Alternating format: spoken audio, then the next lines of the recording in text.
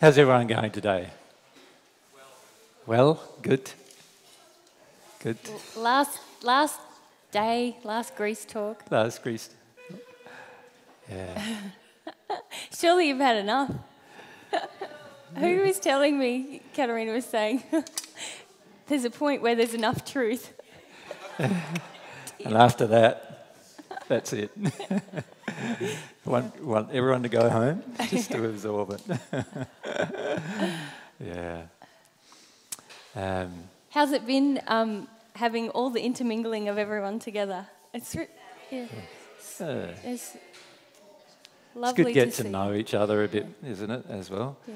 And we'd just like to also thank uh, those who were quite brave yesterday mm. talking about their uh, sexual stuff. And also would like to thank the spirits who were quite brave yesterday because there were quite a lot of spirits quite confronted by what I was saying yesterday. Uh, so we'd just like to thank them that they stayed engaged with us while we were having those conversations. Um, that conversation in particular, remember that I mentioned about celibacy versus sadomasochistic and how both of them end up in stagnation. That was quite confronting for many spirits uh, who had practiced celibacy all of their life in the spirit world. So uh, they were quite confronted by that particular truth. And uh, so we'll see how they go with all of that today with some of these questions that you might come up with asking today. So, as we said yesterday, uh, the general plan of action today is for us to have some questions for about an hour and a half.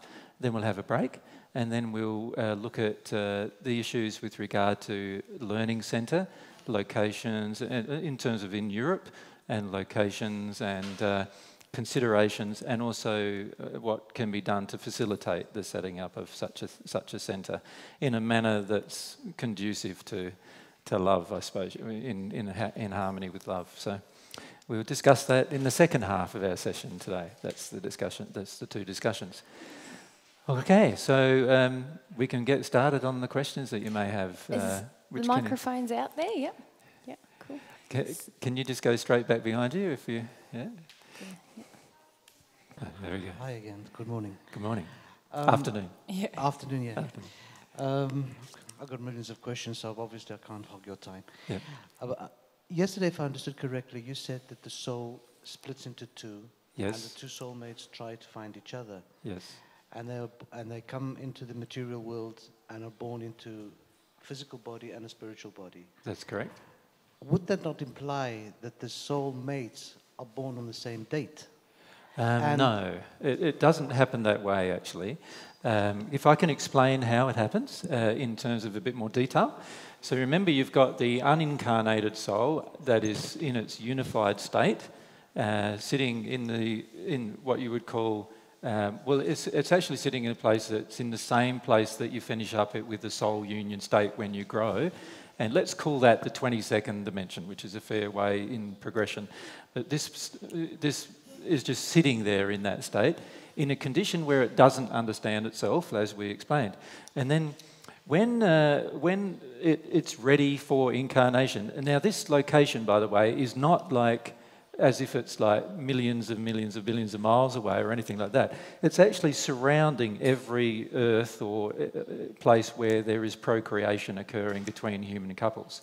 And so, as a result of that, every act of procreation or even the potential, like, so any time a couple actually has sex, there is a natural affinity of these souls surrounding that particular couple based on the personalities of the couple and the emotional injuries of the couple. So there's a, there's a law of attraction even working there, which this soul itself is not conscious of, but the couple who are, who are engaged in the sex act uh, are drawing that particular soul to themselves. Now, so you imagine, so if we, if we drew it this way, the, the couple, so the couple on earth is engaged in sexual activity. Right? there's a drawing of a particular soul that matches the combined um, condition of their personality combined with also many of their emotional injuries, all combining to create a law of attraction between this soul and this couple. And the, the, the, the most risk taking part of the soul will separate from this soul in, and separate. And when the, when the let's say it's the male, let's say the child is conceived, at that moment the two bodies are created and they begin the process of uh, multiplication of the cell structures of those bodies, then this part of the soul is attracted to it. Now, from that moment on, the second part of the soul is actually also, uh, so you could think of here's the male part of the soul. The second part of the soul that is yet unincarnated remains very close to that soul, right? And it just stays there waiting for its chance to incarnate.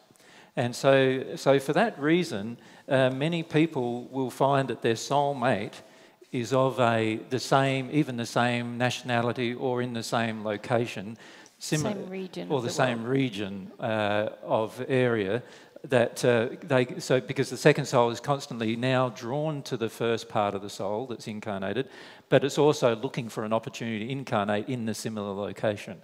And, and of course it has to be drawn to a couple also. Yeah so and it's not just any couple is so it? there's another couple. Yeah. It has to be drawn to. And of course the same laws of attraction are applying. In other words this couple has a group of personality between the two of the couple. They have a certain emotional injuries and so forth. And this particular soul finds an affinity with that particular couple, and that's the strongest affinity. And so when this couple finish up having sex and create the bodies for the, for the in this case, the feminine part of the soul, then this part of the soul connects to those bodies. And, uh, and then the, the, you could say the individualization from that moment of this complete soul is now complete. They can both even pass away while they're still within the womb, but the process of individualization has been completed. They are now in a sensitive, soul aware state where they're starting to absorb information from the universe. When they're in this state, they're not in a sensitive, self aware state to absorb information from the universe. It's only once they get into this state.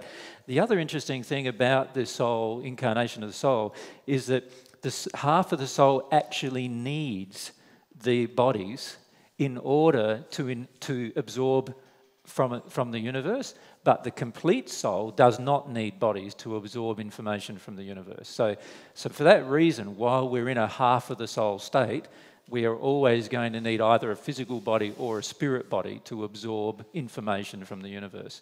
Now, as you progress through the different dimensions, and remember there's the first sort of seven dimensions, so one to seven, then there's the into at one with God in the eighth dimension, and then there's the progression to, let's call it the 22nd dimension at this stage, shall we call it that? And at that point, the soul can reunify now, at that point, the, the, the soul doesn't need the bodies to use the soul's senses and to absorb information from the universe in a, in a self aware state. So, um, the bodies are only necessary while the halves of the soul are actually separate from each other if that makes sense. So the process is uh, the one half of the soul will incarnate first, the second half of the soul will follow that first half, looking for the appropriate personality parents to actually be attracted to. And the, the gap between the first half and the second half incarnating may be as long as 20, up to 20 years or so. It's rare that it's longer than that, but it may be up to that uh, type of dis- distance in time because the personality doesn't quite match the the uh, you know the couple. personality of this soul doesn't quite match what's going on with the couple that are that are making love. So, yeah, does that make sense? Yeah.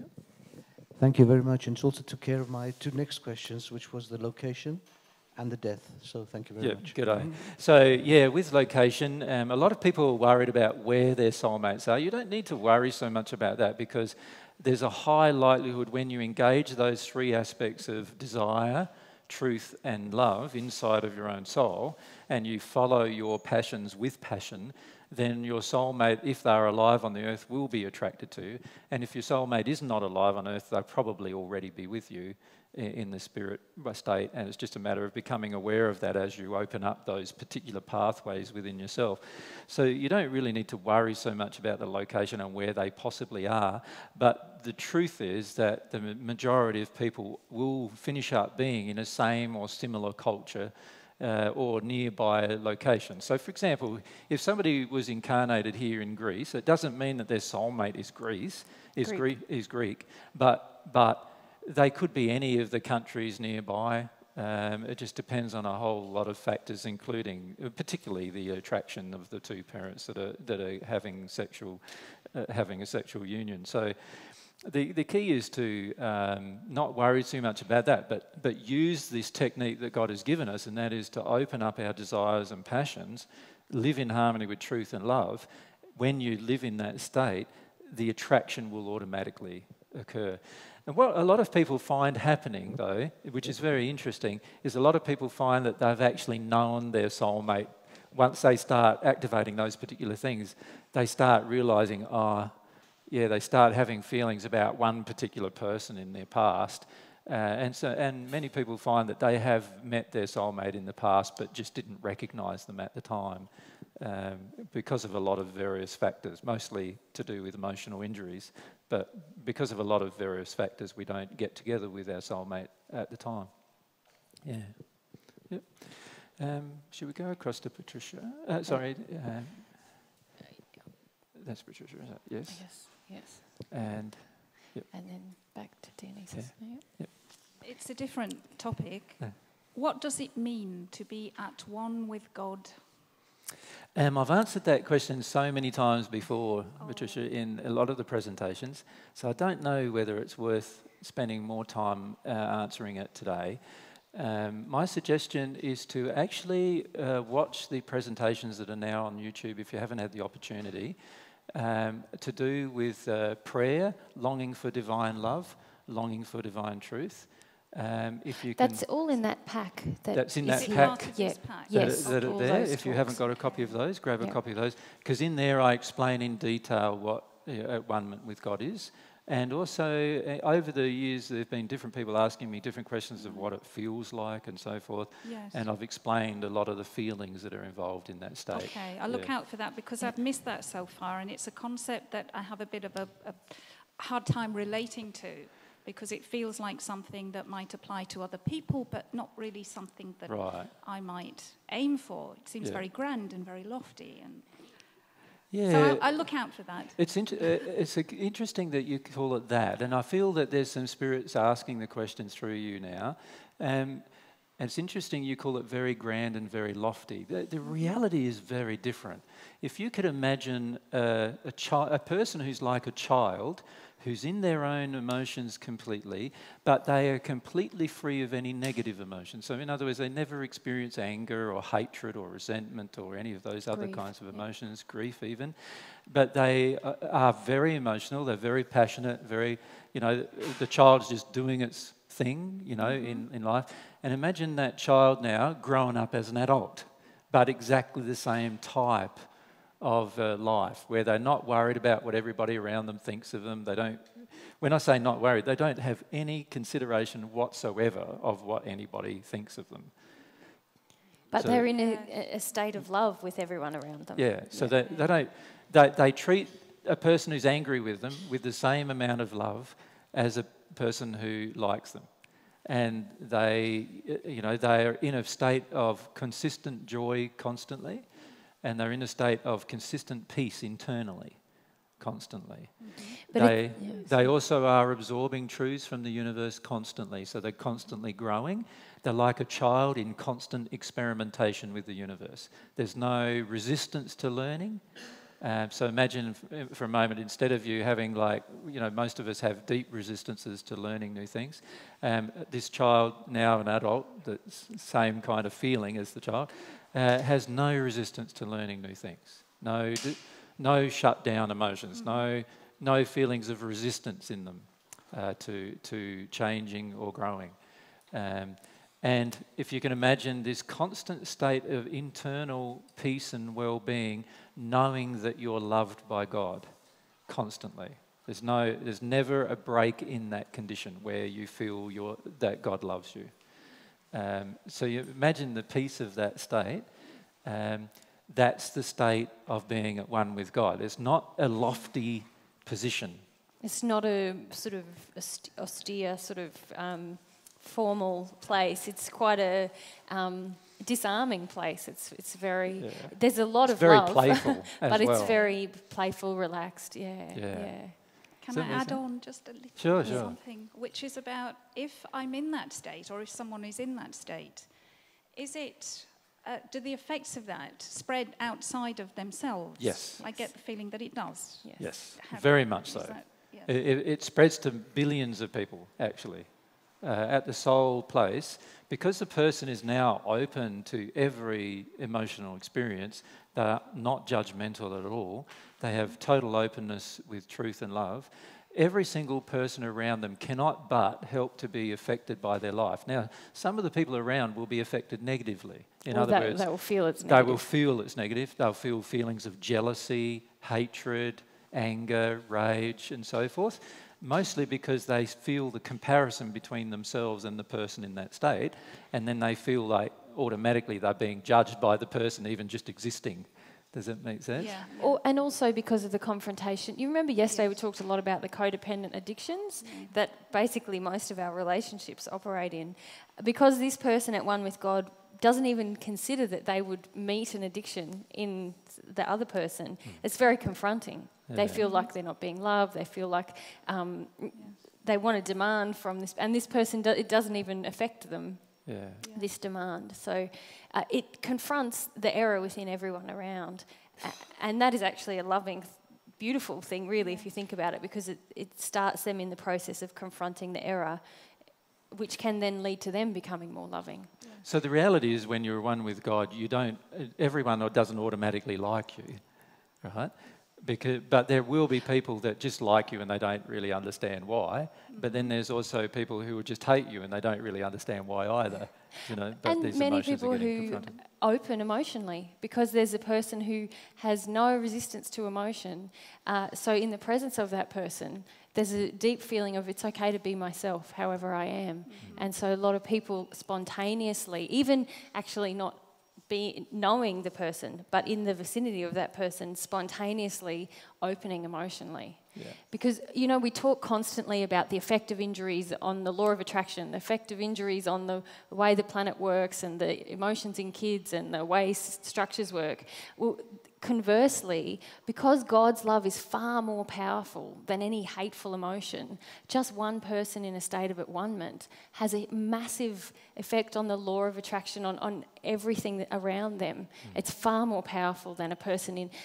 We, we have this common conception that dark forces are, are very powerful and scary, and, and I know I certainly have had that feeling. Um, but the truth is, God's love is a far more powerful force. So just one person living in harmony with that has like a hugely mm. beautiful effect. Yeah. Yeah. yeah.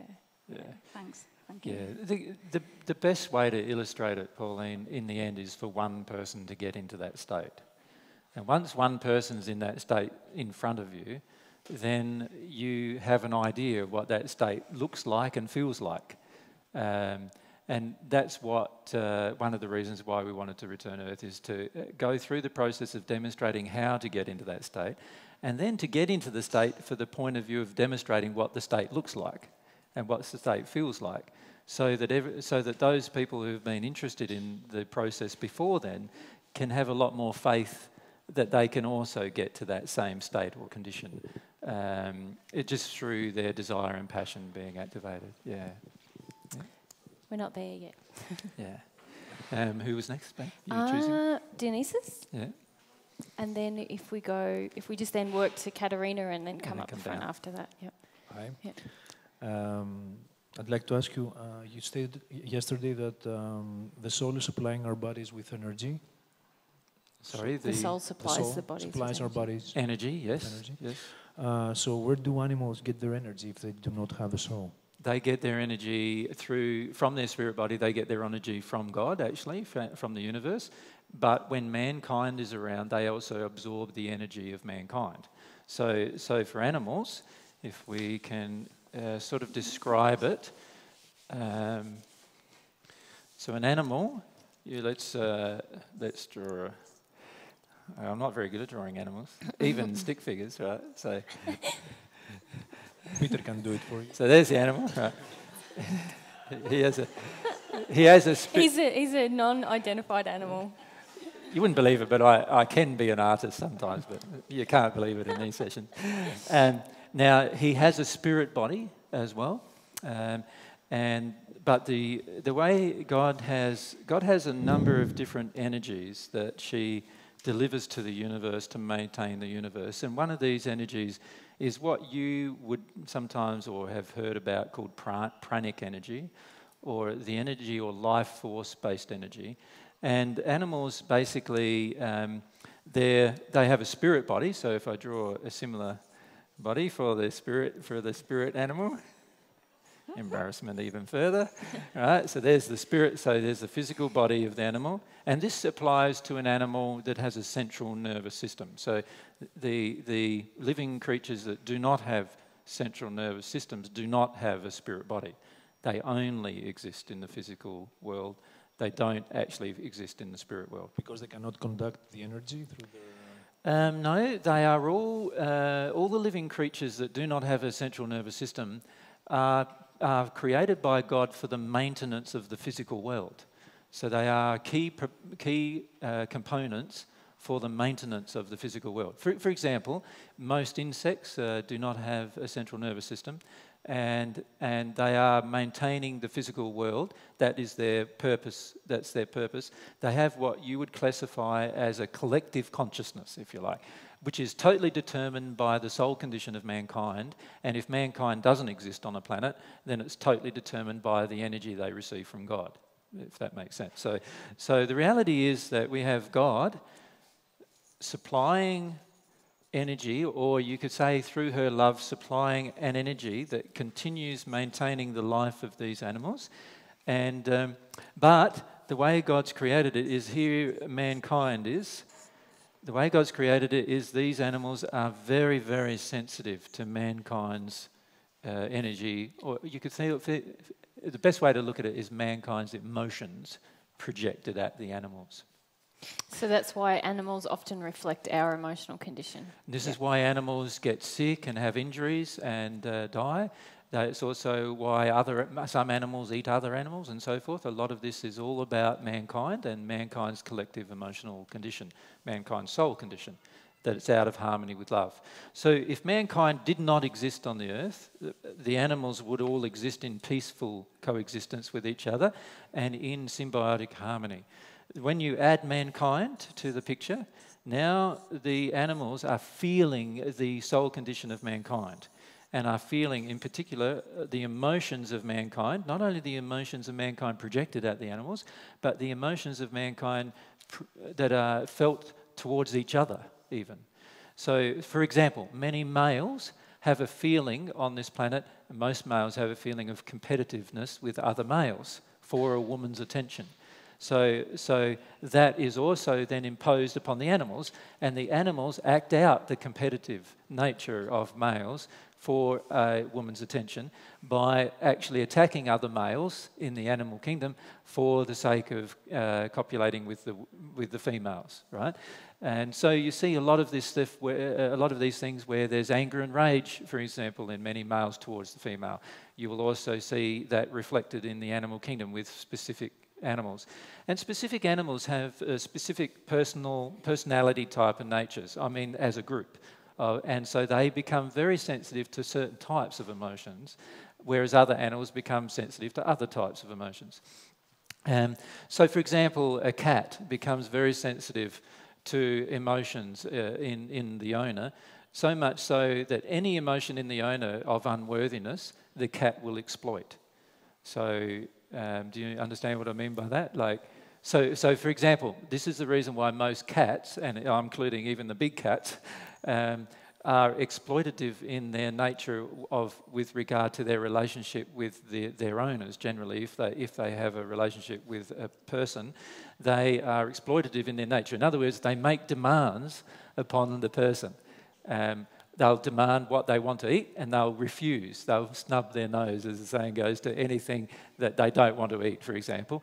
And that's because they're very, sensitive to the emotion in the human that the, the human will bend their will to suit. To suit.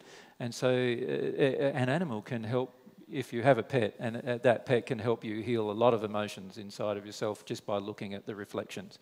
Um, the animals also have accidents and get sick based on the humans' um, main emotional condition.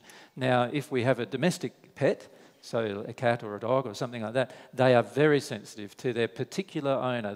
They're, sensitive mostly to the owner who either owns them or loves them the most, and they will be sensitive as a, because of that to any of the unhealed emotions that are unloving in, the, in that owner.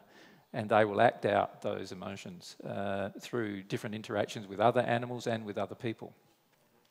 So, um, now, when they pass, when the, when the physical body separates, and again, the physical body separating is if, if it's dependent upon the owner, then what will happen is the owner can maintain the physical body of an animal if there is a, if there is a love based relationship. Theoretically, it's possible for that animal to maintain its life on earth for the entire life of this owner. Right? If the owner has cleared away all unloving emotions, all of their belief systems about death, all of their belief systems about longevity, and so forth, then this animal is able to live as long as the owner will live on the planet. Uh, it's based on love, you said. That, uh, Sorry, lo- it, on love. On love, on yeah, love, yeah, yeah. So the energy will flow to the animal also. Yes. Uh, so the owner's energy now is also now sustaining the animal. In other words, energy of love. I mean, okay. yes, the energy yeah. of love. But if you think of it as the emotion of love, yeah. but it's not just the emotion of love. It's also so we can have love for our animal. Many people do, but they also have many unhealed emotions and belief systems that you must heal and, and remove from yourself if you want the animal to live as long as you do. then but you describe the perfect uh, condition. In a perfect condition, the animal will live, will live as long as the human chooses to live. Yes. If if I feel love for my dog, but I'm holding on to huge emotions, say of resentment with men, excuse me, and this is a male dog uh, then the dog is going to, st- even if it's a female dog, they will start to reflect, that be- just as it affects my spirit body, begins to affect theirs as well because I'm in connection with that animal. Mm-hmm. Yep. So, um, sorry. Yep, go ahead, no. Go. Uh, if uh, someone passes who is not in a very good condition, and also the spirit body of his dog, let's say, is not in a good condition, uh, while he is improving in the spirit world, uh, will also the spirit body of his dog well, remember this the, the dog is receiving energy from two sources, not just from one. So it's receiving this uh, uh, energy of life from God, and then it's also receiving the connectivity or the energy from the owner. And love will dictate how that dog responds. So if, this, if the owner is in very, very poor condition, the dog will not pass into the same location. So, so for example, if the owner passed into the hells of the spirit world, the dog will not pass into that location. They will pass probably somewhere in the top of the first sphere at least in the spirit world. And they will basically be waiting around there until the owner reconnects with some of the emotions that it felt about the dog and so forth. And then as the owner progresses, the dog and, and the owner will probably meet up again at some point in the future. And then when they meet up, again, love will determine how, whether they stay together. Now, if there is a strong feeling of love from the owner to the animal, then the animal will continue just going wherever the, the owner goes through the spirit world. And there are animals all the way through the spirit world. There's also animals you can create in the spirit world. So you can, you can create and ask God to infuse the animal with a life force and, uh, and you can create animals in the spirit world. And for that reason, there are very many, much larger variety of animal, animals in the spirit world than there are here on earth, because you can actually create the, physic, the spirit body of an animal while you're in the spirit world. Um, can they enter the 22nd sphere? They can enter any dimension that is, of a, that is spiritual bodied in nature, so they cannot enter the 22nd sphere. They cannot enter the soul. Remember, that's state. the soul that's the soul plane, and these guys don't have a soul. So. Okay. Yeah. And by the time you reach that plane, the soul union state, um, you are able to interact with any other state anyway. So you're able to interact with all other states. So you're able to interact with the physical, with the spirit world, all the way through the dimensions, and the soul world, if you like, where, where you're in the soul union state. But, uh, but by that stage, you, you do not feel the necessity of having animals as a part, uh, being joined with animals as you might do here on earth. By that time, you've sort of let go of a lot of that kind of thing. In fact, you can create, uh, by this stage, you can create and manifest your own creations. And so there's no need for you to, uh, or, or desire for you to have a specific animal connected with you, if that makes sense. So you, it's the same actually with family. By the time you reach the at one state, uh, with this, the eighth dimensional state, um, you're not very, you're not actually concerned about family at all. You, there's no such thing as family actually at that point. Um, so um, you view the whole human race as your family, just like God views all of the human race as her children. And so you then view all of the human race as your brothers and sisters, and you don't have a particular affinity to one member of that, uh, of that human race unless there is a strong binding force other than family that draws you together to interact. Um, so, for example, um, my mother and father, Joseph and Mary, I've always had a strong connection with, but not because they're my father and mother, but rather because they, when they, particularly when they hit the spirit world, they listened more to the divine love and divine truth, and they were quite passionate in the growth of it in terms of themselves, and so they were quite near where myself and Mary used to live in the spirit world, and as a result of that, you spend a lot of time with them, but it's not because they're your mum and dad. It's because they have the same desires, the same passions, and so forth. Yeah.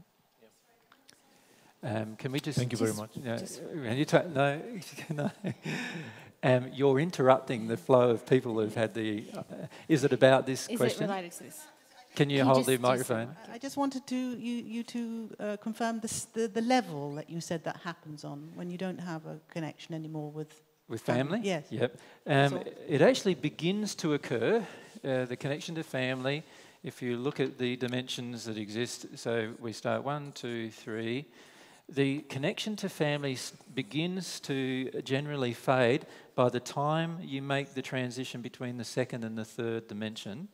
And, and by the time, so there's four, five, six, seven, by the time you're at one with God, which is the eighth dimension, you have no real concept of family that is uh, is held here on earth. And that's the concept of preference for family, like prefer, like uh, like you don't have a preference for your children, for example, above anyone else. You yep. may still be in a loving relationship with your children, but you wouldn't value that above a loving relationship with somebody else. It's it's purely, and your um, your close associations are purely based on individual personality, desire. Um, passions. And, and the, some the of only, your children. There is only one exception to that, and that is the relationship with your soulmate. Exactly. Your soulmate relationship is the most binding relationship you will ever be in. And in fact, it continues to cement itself in solidity as you grow. And as a result of that, your soulmate relationship becomes the dominate, uh, dominating relationship in your life. And all other relationships, uh, like Mary just said, just, they're just based on affinity and desires and passions. Yeah. Does that make sense? Um, now, who were we down Katerina, to? Katerina. And yep. then we were going to come down the front here. um.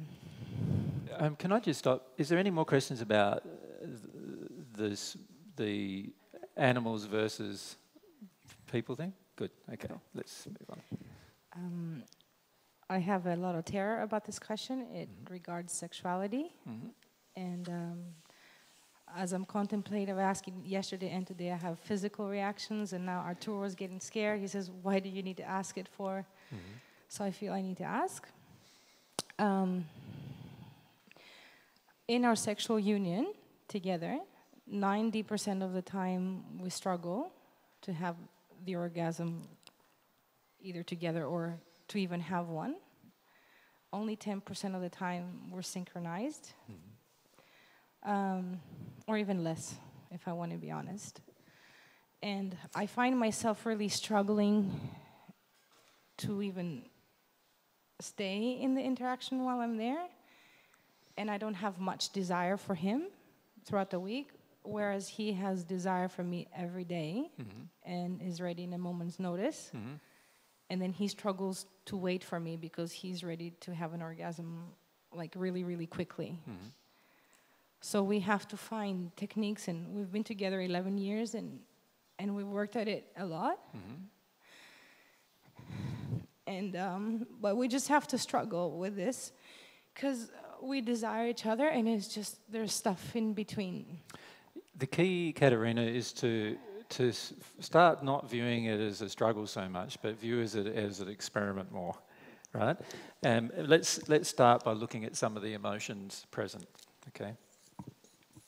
So, with most couples on the planet, um, there is there are a number of things um, impeding our sexual connection. And remember, yesterday we said the most pure sexual connection is going to be with your soulmate. We also said that you have to also, at the same time, be quite developed for that, for that connection to be pure. And when we say quite developed, we have to have released most of our emotional injuries. And a lot of our injuries pertain around sex, but they also are related to other factors about ourselves. For example, many women do feel the emotion that they're not beautiful now.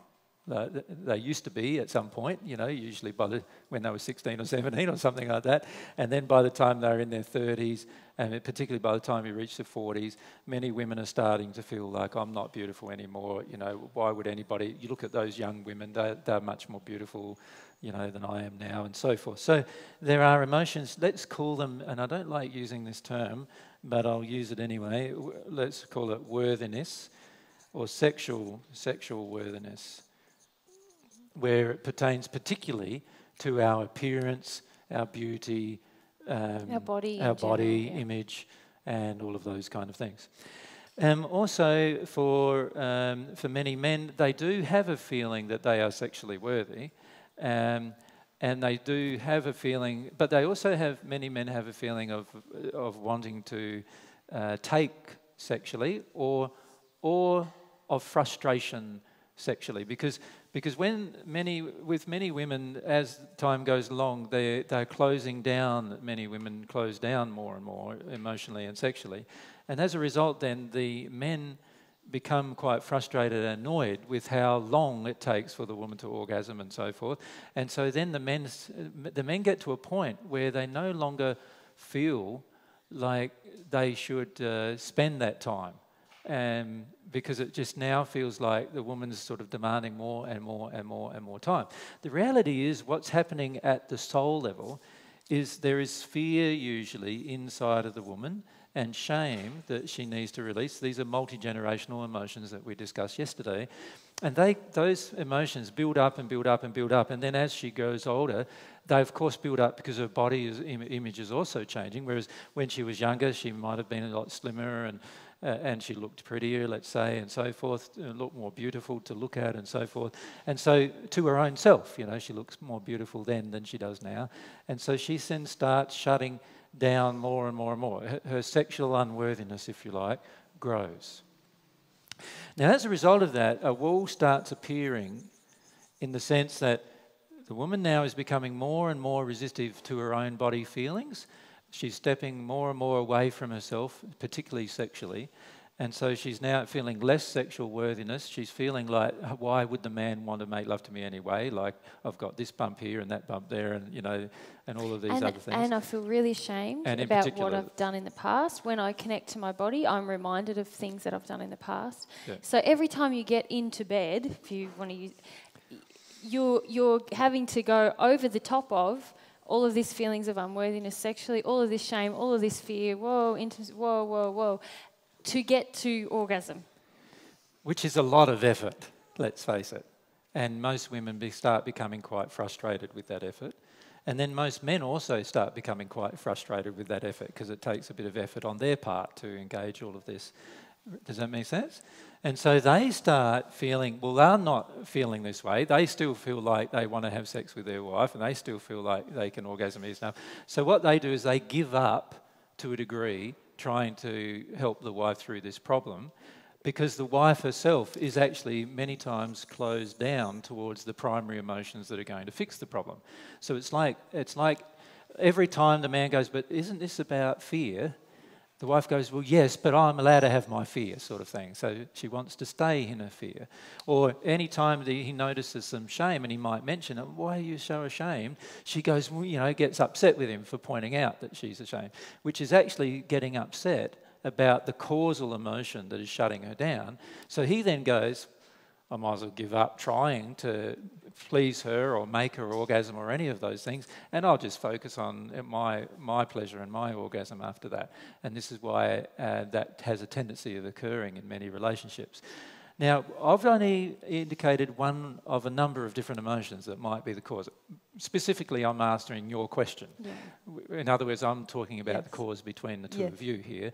And of course, the cause between other couples are going to be different depending on the different emotional conditions that exist between that couple. But as your fear and shame grow, grows, and when I say grows, it's always been there it's just been lessened by the fact that you were younger, prettier, and more available, and all these other things. And so, uh, lessened by also you skipping out of your fear. You used to go out of your body a lot when you were younger, you know, to get away from any fear based situation or yes, any shame. All the time. And now you're practicing trying to stay in your body, stay connected, stay present. And of course, that then means that you feel more of these emotions. And as a result of that, a sort of a fissure or a, break starts appearing sexually in the relationship. So you still may love each other, but, but the feeling is that like, I can't engage sexually anymore. Now, fear and shame shut down desire. Anything to do with unworthiness within us uh, shuts down passion and desire. So the male also may have feelings of sexual unworthiness, like he's now feeling frustrated too because he feels like he can't please his woman anymore. He used to be able to, and now he can't. You know, so those feelings grow within him. And the key, the key is to address the, um, these feelings emotionally, to release those feelings emotionally. So yeah. to do that, the woman has to fear her, feel her sexual fear and shame. Now, that for most women is a very daunting task because not only does she have to feel, feel her own fear and shame sexually about what happened in her own life, but actually there are many multi generational injuries from past women who have lived on in the past generationally that have imposed these sets of injuries. So, for example, women in the past were just treated as possessions, for example. So, all of those women in the past who were treated as possessions never released their emotion while they're on earth. So, generally, they passed that emotion down to the next generation of women. Then they passed into the spirit world still feeling that emotion. So now they're trying to connect to women on earth, saying, You're just being treated as a possession. You're just being, you know, while. I feel them, and they wouldn't let me ask the question, or hurting yeah. my ears, hurting my throat, yeah. having heartburn. And yeah. they're like, Don't, don't do this. Don't no, do this. We're no. going to be exposed. Many of the women don't even wish, in the spirit world now I'm talking about, do not wish any of the women on earth to heal their sexuality. They don't want to heal it because they believe that's the place, the place of soulmate union, they believe is the weak place. They believe that is a very they feel they can be harmed again and harmful, place, yeah. potentially harmful place. Not understanding that if a soulmate union occurs, then it can only occur in love, and therefore it can never be harmful. Mm-hmm. So they don't understand that. They're very afraid of that. They're very afraid of giving their will over to the man, right? And so whenever you want to discuss getting closer to your man, they then think that that means giving your will to the man. And that's not the same thing, but they think it's the same thing. And as a result, they get a lot of fear and anger in them about that. These women spirits who have had multi generational injuries still in the spirit world, still, in fact, many of them attached to the earth. In other words, they're earthbound. And so, what they do is they connect to the woman now who's feeling these feelings. They're trying to help the woman not feel those feelings because they don't want to feel the feelings, the spirits themselves, which actually shuts the woman down even further. It makes the man now feel like there's a lot of resistance now. So he then now starts attracting spirits who are now resentful with women about sex. So, in other words, he starts feeling feelings like, I might as well get my sex elsewhere if that's the way it's going to be, you know, or, or I might not get it elsewhere, but I might as well just take my pleasure and be done with it rather than trying, you know, for hours on end to help my woman orgasm when she doesn't really want to deal with the reasons why she's not. Does that make sense? Yeah, and yeah, I just want to add to that. Um, uh, uh, what I want to say about orgasm is I feel it's about anger, this difficulty with orgasm, anger, control, and I'd actually put above that rage. Yeah. like the, the most intense form of anger. Yeah. yeah. So, difficulty with orgasming with a partner for myself has been a lot about these emotions. Um, a, a, feeling like um, a lot of rage with men, specifically with my soulmate, a feeling that I don't want to give my body over to him. I don't want him to have control of my body. What will happen if he has I give him total sexual control. He leaves me hanging. He doesn't care for me. You know, a lot of vulnerability feelings. Like if I share my sexual self, a lot of it's about him, love too, though, isn't it? If I give him my heart in love, he my, will just abuse that. Yeah, my orgasm and my heart are very Connected. related. like if if I if I give my orgasm, I've given him my heart, my, but also yeah. as I give my heart, my my my orgasm happens, and then I feel out of control. This man is in charge of my body. So if this man dies now, or this man, you know, leaves, whoa, where are you left? Yeah, you're left not being able to give your heart or, or sexually to another person, and, and, and where does that leave you? Yeah. The thing is, um, with Artur, he's actually the only one that I was able to have an orgasm almost every time. Mm-hmm. And when I was younger, it was absolutely impossible, and I was never satisfied, ever. I had yeah. like really pleasure from this. It was like a, mm-hmm. like what's the reason of having sex? Yeah. So that's the thing. Like together we do work yeah. this, and it's fantastic because. Yeah. yeah. But it's still this thing about me delaying him wanting to go faster and like. Well, can I, can I just? I'm not, yeah. you, I feel, Katerina, there's still more Mary needs to say about these because okay. this is where many. It, it's all where if your body. One thing that I've always said to Mary is if your body is a perfect machine, it responds perfectly to everything, right? And if it's not responding perfectly, it's not because of the body. It's actually because of the emotions that control the body. Do you understand? So, so what we need to understand is if this perfect machine isn't working perfectly, it's not because of the problem with the perfect machine. Right? It's the problem with the soul that's driving it. And the soul is all to do with belief systems and emotions, right? So it's all got these emotions controlling and driving the, soul, the body.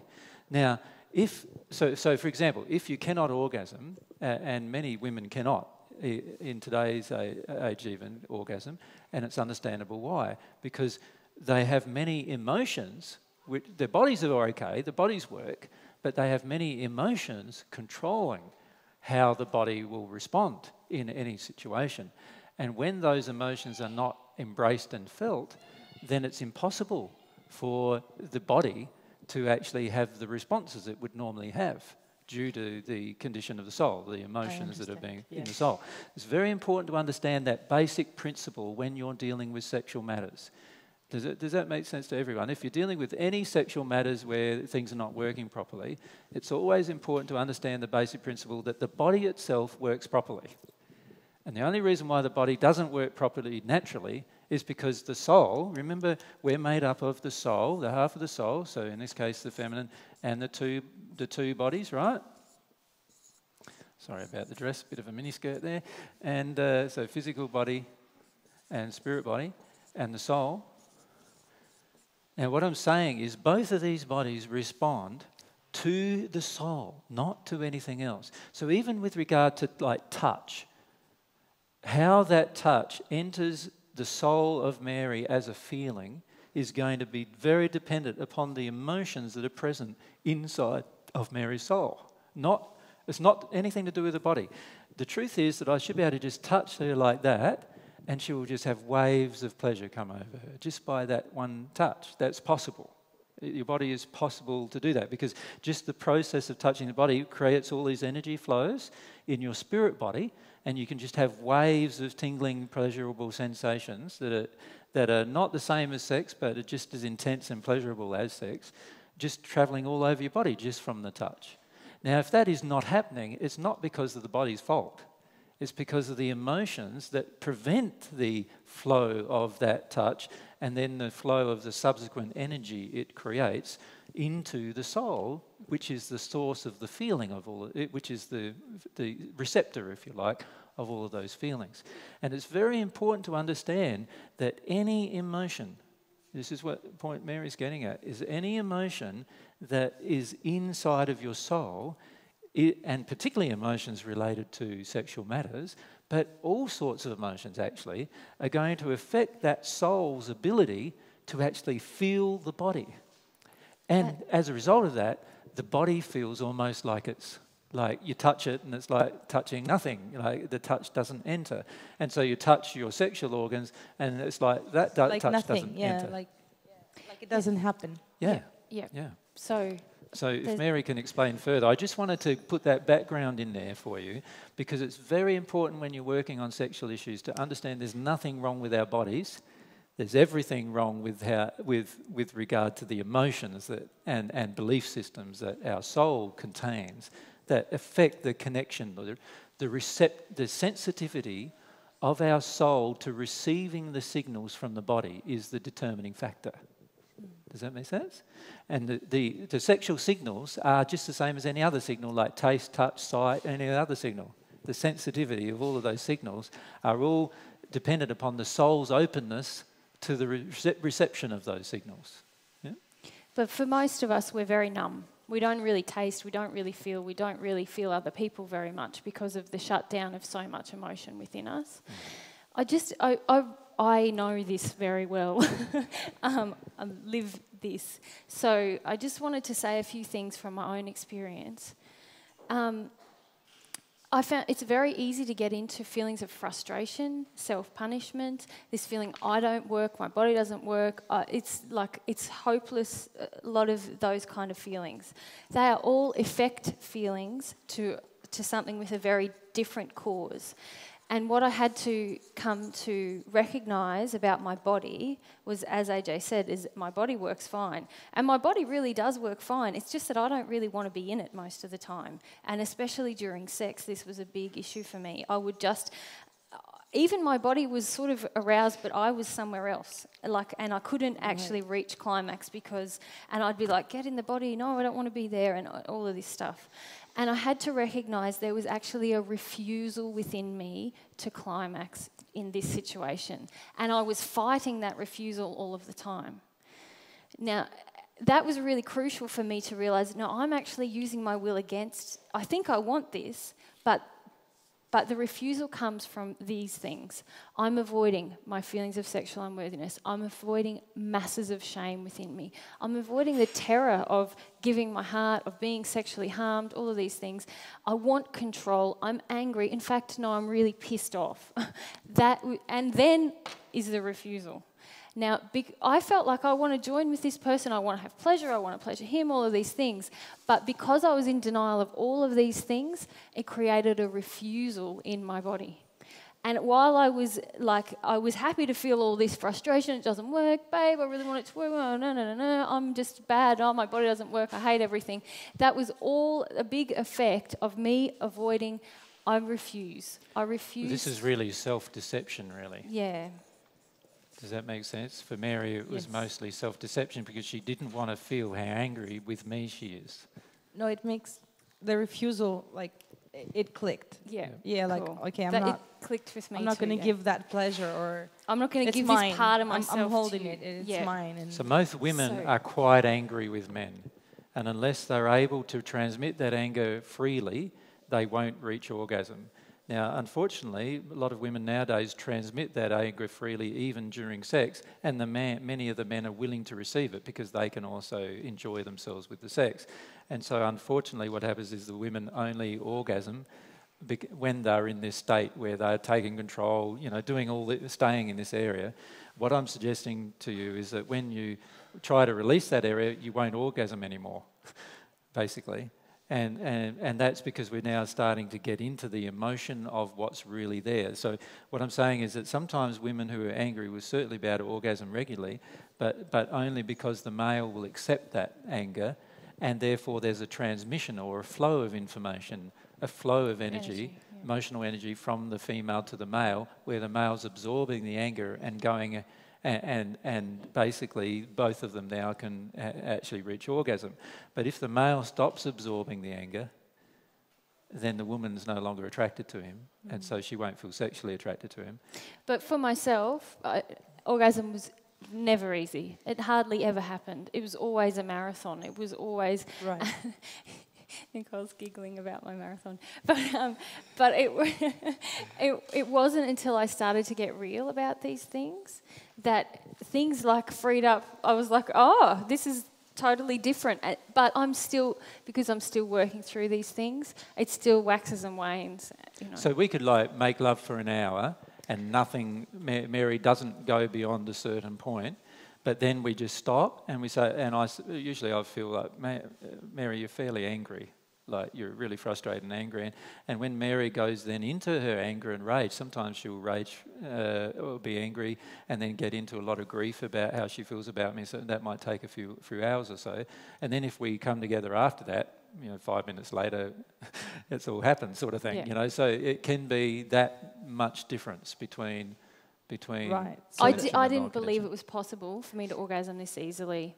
And I really thought it was a physical dysfunction until I started dealing with these things. And then I was like, oh, this. And you'll get more confidence and faith back in this process yeah. once you get real about the refusal. So, as I see it, then the problem is because it's difficult to accept that at the time, we have to actually stop, let it go, no matter who's more aroused and who or who wants it more. Yep. And like just either get angry or feel shameful, it, yeah. or, but just completely stop it and not just say, well, okay, yeah. well, you go ahead and then like we'll forget it or yeah. yeah. Well, what happens and for us now too is that if I feel any contrary emotion from Mary Adel, I just lose my erection immediately anyway. So it's not possible for us to continue sexually until the emotional issue is resolved. Mm. When the emotional issue is resolved, then it's totally different. We can stay at it uh, most of the day if we wanted to, uh, if the emotional issues are resolved. Does that yeah. make sense? Yeah. But um, don't just wait for sexual uh, experiences to start to challenge these emotions. Like um, it's, I found it, it's now that I'm really starting to focus on them all of the time, how do I feel about my own body, my own vagina? How do I feel about my soulmate? How do I feel about men? All of the time looking at those. And it's starting to happen for you, I know, like dreams. Yeah, uh, yeah, uh, yeah. yeah. Really yeah. explicit and shameful. Yeah. yeah. and the same thing for me. And if you can take those opportunities, then the actual sexual act becomes immediately much more relaxed. And sometimes you still have to stop, but sometimes it, works much more lovely in a yeah. lovely way. Yeah. yeah. yeah. And also, um, don't forget the sexual connection is not just about sex either. It's about what happens all day, every day between the two of you. And see, what, what often happens, we notice in a lot of relationships, is there's almost total disconnection, disconnection. all day, most of the day.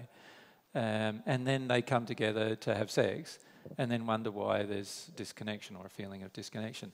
The, re- the reality is that a sexual union occurs all day, every day, when it's in its pure state. Um, and physically, you come together whenever you want the opportunity. But, but you are constantly feeling desire and passion for the other person. So, any time you're not feeling desire and passion for the other person, the key is to stop and feel about that. For me, uh, it always usually relates to my grief with, with women and my feelings of rejection uh, about women that caused me to feel like, oh, you know, I, I want to spend time alone away from Mary or whatever. For Mary, it's different emotions. Lots of things. And even just like, whoa, this is like enough connection now. I want to go and hide in that little shell of myself and just like have. I, I, when I met AJ, I was so used to like keeping everything guarded guarded inside of me. I didn't want to share all of me because I thought it was so yucky and unlovable, you know. And um, but then other issues might cause me to withdraw, like grief, rage, shame, anything that I don't want to Sometimes with, spirit, with spirits yep. cause it, you know, yep. due to the connection with spirits. So, for example, um, like we, we found that when Mary was around other angry women, she would treat me in a totally different way than when we were by ourselves. And so we had to work through that issue together, you know, like I had to. The feeling of I want mum's love and I want mum's approval and I'm afraid of mum's anger was stronger than I want to connect with my soulmate. And, and if, until and if I the women around are all angry with men, then the only way for me to get mum's approval or is to side is to them. be angry with men. Yeah. And so she'd be angry with me. Yeah. Does that make sense? Or distant. Yeah. Yeah, and then the thing that uh, happens is so I have all this stuff and I recognize it for myself. And maybe I'm not always open about this is what it is. And then Arthur feels that I am controlling him with this. So he says, if I, if I want this every day and we only have sex when you feel like it, then I feel, why do I have to give it to you? Then he gets angry about that. Can I talk about it from the male's perspective for a bit? Yeah, because this is something that um, I feel a lot of men don't get to voice what's really going on with their in their relationships at all sexually. They uh, often get ignored with everything. Everything gets sort of focused upon the woman and her orgasm and everything else, and and the, oftentimes there's very, very little discussion about how the men feel when these problems occur. Now, when Mary goes into rage, anger, and control, um, my feelings um, are uh, totally uh, around surrounding th- these kind of things. So it feels to me like, no, now I'm just being used. I'm just sort of having to be a machine. You know, like I don't have any feelings. I just have to be a machine that lasts longer than she does. You know, um, I have to um, perform. Otherwise, you know, I'm not, you know, cons- considered any other time if I don't perform sexually and so forth. And, and you have to suppress your desire. And I have to suppress my desire if I don't have one. If Mary doesn't have one. Now, I had to come to the right. point of recognizing, oh, if I'm the one without the desire and we're in a relationship, maybe I've got the issue. His demand, his desire feels like a demand, but maybe it's just a desire, and I have a lot of anger that and refusal to soften and actually be in a state of desire with my partner all of the time. So from a male's perspective, I'd be going, I'd be going, but Mary, like I desire you all the time because I love you all the time, and I'm not angry with you all the time, and I don't feel, you know, like I want to control you any, eh, or any of those kind of feelings. I just love you, and so therefore I desire Mary, I desire her body, I desire to interact with her, even like, unlike some men or many men, I want to interact with her emotionally uh, as well as physically, you know, and sexually, but uh, but all forms of interaction, spiritually as well. Yeah, but it's not to say that you have sex when you don't desire it, because mm. that is so we're not yucky. suggesting that, that is creating more lie in your body. Yeah. it's to look at if I don't have a desire, why not? Why don't I? What's there's got to be something wrong, doesn't it? If you love somebody and sex is a pleasurable act, and you love somebody, then then surely desire would be present quite frequently unless there's some alternative thing going on. And the problem is that many don't see that. They just go, no, he's being demanding or he's being this. And in, their, in the woman's anger towards the male, she's, which she's acting out about past anger, really, like anger towards her father, anger towards men multi generationally. Usually that's the source of this anger.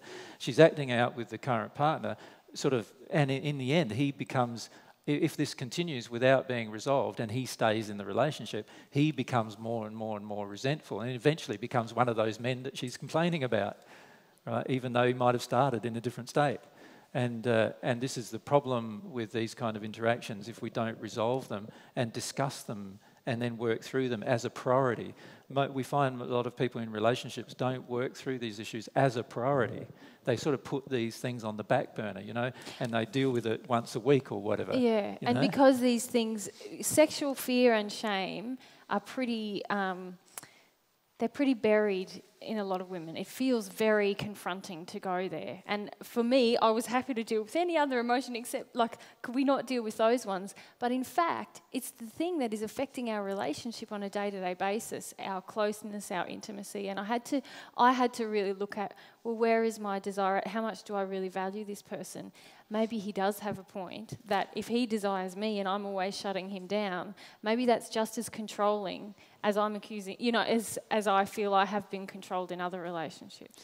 Can I also point out that um, when this interaction occurs, um, there's this feeling that often goes on where, we where the male feels the female's refusal and then basically feels like their entire desire for the woman, it almost feels pointless being in love with her, if that makes sense to the male. Like, there's no point in being in love with her. I'm not allowed to interact with her body. I'm not now. I'm not interacting with her emotionally because of her fear and shame either. And but I love her, and I have this strong desire to interact. And then there's this feeling of almost pointlessness that overwhelms the male. I'm better off not being in a relationship if that's the case. Like, and, and there's been sometimes in our relationship where I've felt Mary's refusal so strongly in terms of as an emotion. It wasn't verbalized. Like Mary wouldn't say, I don't like you, you know, and all that. But there's just this refusal to even have any concept of a desire, even for me. And I'd go, Well, darling, if you don't desire me, then I'd prefer to not be in a relationship with you. Because the reality is, living in a relationship where you desire somebody and they don't desire you feels quite hurtful. You, you actually feel better off not in the relationship. And, and, uh, and unless the person who has the lack of desire is willing to look at the lack of desire, then, then basically you're not going to grow in the relationship. You're never going to reach that union state together where you're actually joining. Does that make sense? And so one or both of the parties need to look at their emotions and involved. It's also like in other partnerships, perhaps there's a lack of, as we talked a bit about yesterday, there's a lack of desire perhaps in the woman because of uh, an, an error based emotion coming from the man. So both parties need to, need look, to look at their stuff. Okay, there's a lack of desire. Is that an injury in me? Am I avoiding a can lot I, of things? Can I give an example of yep. that? Let's say I expect Mary all day, every day to care for the kids, care for the washing, care for the ironing, care for the food. Plus, she has to go to work as well because we want some extra money in the family. And she's got to do all these other things. I come home, I relax. She comes home, she's still working. Now, you imagine months and months of that, months of that, or years of that even. Eventually, what's, what's Mary going to feel? She's going to feel very resentful, tired, tired exhausted. feeling very sexually open to you because Not I'm very actually sexually open at, at all because yeah. she's tired probably as yeah. well. She'd be actually quite angry with me, even though that anger might be hidden, you know, quite suppressed. She would be quite angry with me. That is definitely going to suppress her passion and desire, right? So if I'm going, what's the problem with your passion and desire uh, at Mary? And Mary starts to voice to me like, oh, well, you know, this I'm doing this and I'm doing that and I'm doing this. No, it's nothing to do with it's that. About like, sex. This it's, is about sex. Yeah. Um, then what I'm doing is ignoring how I'm treating Mary, and I'm really the creator of Mary's lack of desire. Does that make sense? And I've got to look at that as the male. Why, why would I want to do that? If I really love this woman, wouldn't I want our relationship to have an equal burden of responsibility or not? You know, wouldn't I want that? And, and so what I've got to do is look at how I have affected her lack of desire. Does that make sense? Yeah. For me, though, for in our relationship, it was much more about me wanting to justify my fear and shame. it's too hard. I can't do it. You can't. You don't know how bad it is for me. I'm staying in refusal, you know, and I had to look at that. So Mary would be saying to me that her fear was too great to handle, it was too hard, uh, or she'd be going, "I'm just like," she would go, "I feel overwhelmed. I can't go any further." You know, like those kind of statements. They're all statements that indicate you're refusing to go there, right? You're not embracing the process of dealing with your emotion, you're refusing it. And so we've had to work through that issue together of why is there this refusal? What are your what are Mary's belief systems about emotion even? And yeah. and one of the emotional beliefs that she picked up very young due to her family influences was that uh, emotion is always gets hugged out of you. So you, you never don't have to go through you don't have to feel it. It just is going to get hugged out of you by somebody else. Does that make sense? So there's this belief in the family that that you know you shouldn't go through emotion. You don't have you to go through it. You just need a hug, and everything will be fine. And and that causes a lot of shutdown emotionally. It causes a lot of disclaiming of personal responsibility for and it also eroded my confidence in being able to experience my emotions. So she got to the point where she didn't even believe she could do it mm. and feel it without without overloading herself in some way emotionally. And so she's had to work through those belief systems uh, to get to the actual emotions. Yeah, the problem with us was kind of the opposite. We never talk about sex. I, I didn't learn from my mom, and she had the worst experience ever. So it was always something really, really bad. Mm. Yeah. Yeah. So um, the key is to continue the discussion, place a priority on dealing with these emotions. Anything that prevents the joining of a couple is going to have a terrible effect on their lives in the long run and a terrible effect on their family on the long run. So, so anything, both male and female, that prevents the proper joining in equality needs to be addressed emotionally. So it's not about blaming each other, but it's about addressing the issues in truth, becoming more truthful and honest and open with each other about those particular things. And Kat, it's so rewarding, honestly. I didn't think it would be, but it's really is. It's well, well Mary you. sort of had a belief, didn't you, darling, that you, you, know that your body just didn't work, and that was the way it is. Basically. Yeah, and I was stuck in frustration. I felt it was pointless, you know, until I got to this like light bulb. Ah, I need to start here. Yeah. And for us, it's still not. This, per- this did it. Yeah. Yeah, and for us, it's still not perfect. No. But but Mary now can enjoy orgasm three or four times in a row if she wants to, and so forth. And so it's it's much much better than it than it used to be. And also, I can feel Mary a lot more. Like I can I'm feel she's body, yeah. she's allowing the touch into her to to touch her soul. Whereas before, when I would touch Mary, I just felt like there was no allowance of any touch into her soul. You know, like it was. And I sort of had this feeling like I have to, like, I have to put out basically. It's uh, there's sort of a man's allowed to have sex, and you know, I just, you know, it's really like lie back, think of England kind of. wasn't quite that bad, but it was almost, you know, like there was that injury in me, like you got to do this, and I don't really get much from it, and it was yucky. Yeah. So in past relationships, you've felt quite pressured, didn't you? Of yeah, yep. That it's, I kind of had the injury that it's a, it's a normal part of the relationship. You should do it, but I wasn't ever involved in it, and so it's that's that's very yeah. yeah. Does that answer things there? Is there any more questions associated with that, or um, if we go across to Simon and then yeah. down?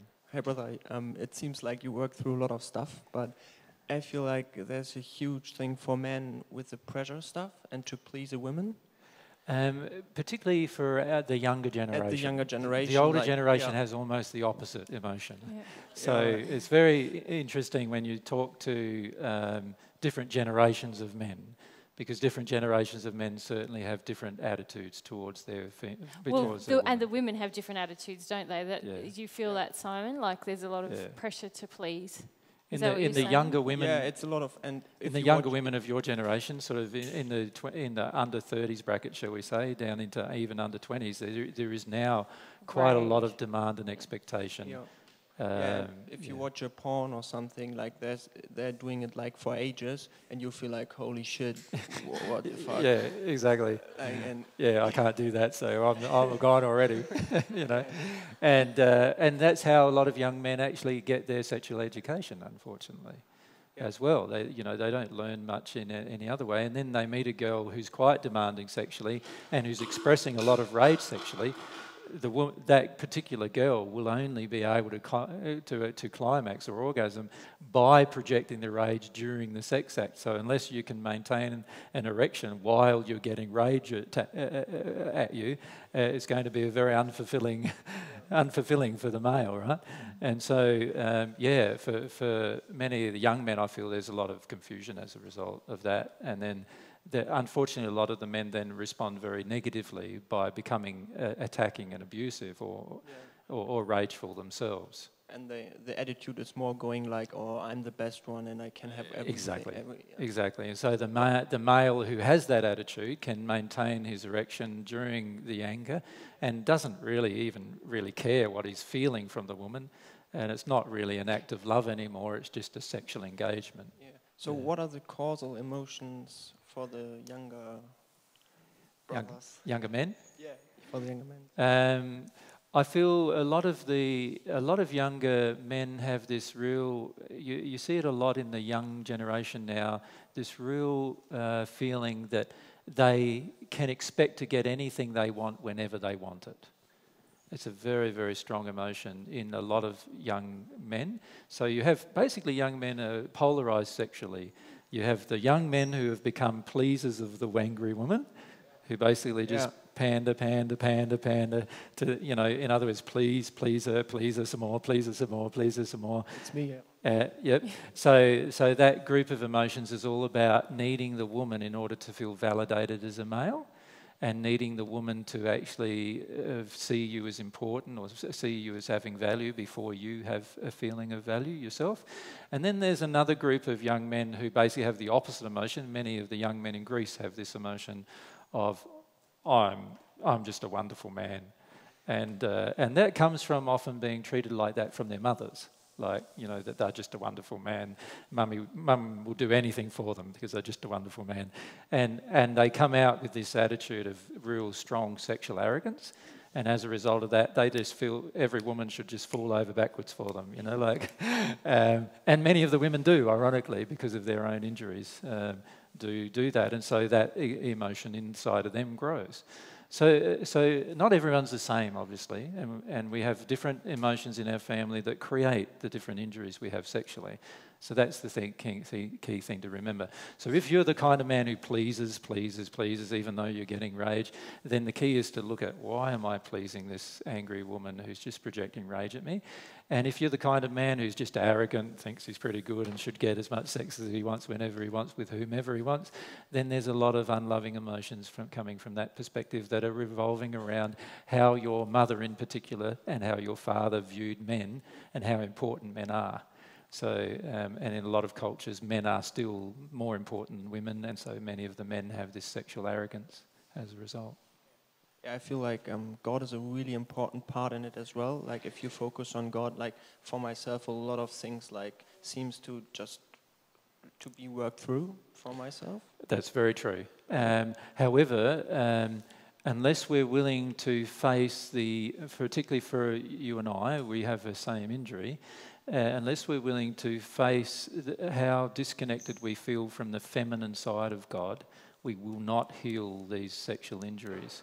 So we are, you know, many men on the planet, well, the, most of the planet's disconnected from femininity, as I've stated before, but many men on the planet are very disconnected and they've resulted uh, uh from femininity, and that's resulted in men polarizing there's the kind of men who now view themselves to be dominant over femininity, and therefore they wish to just they're basically the oppressors of femininity.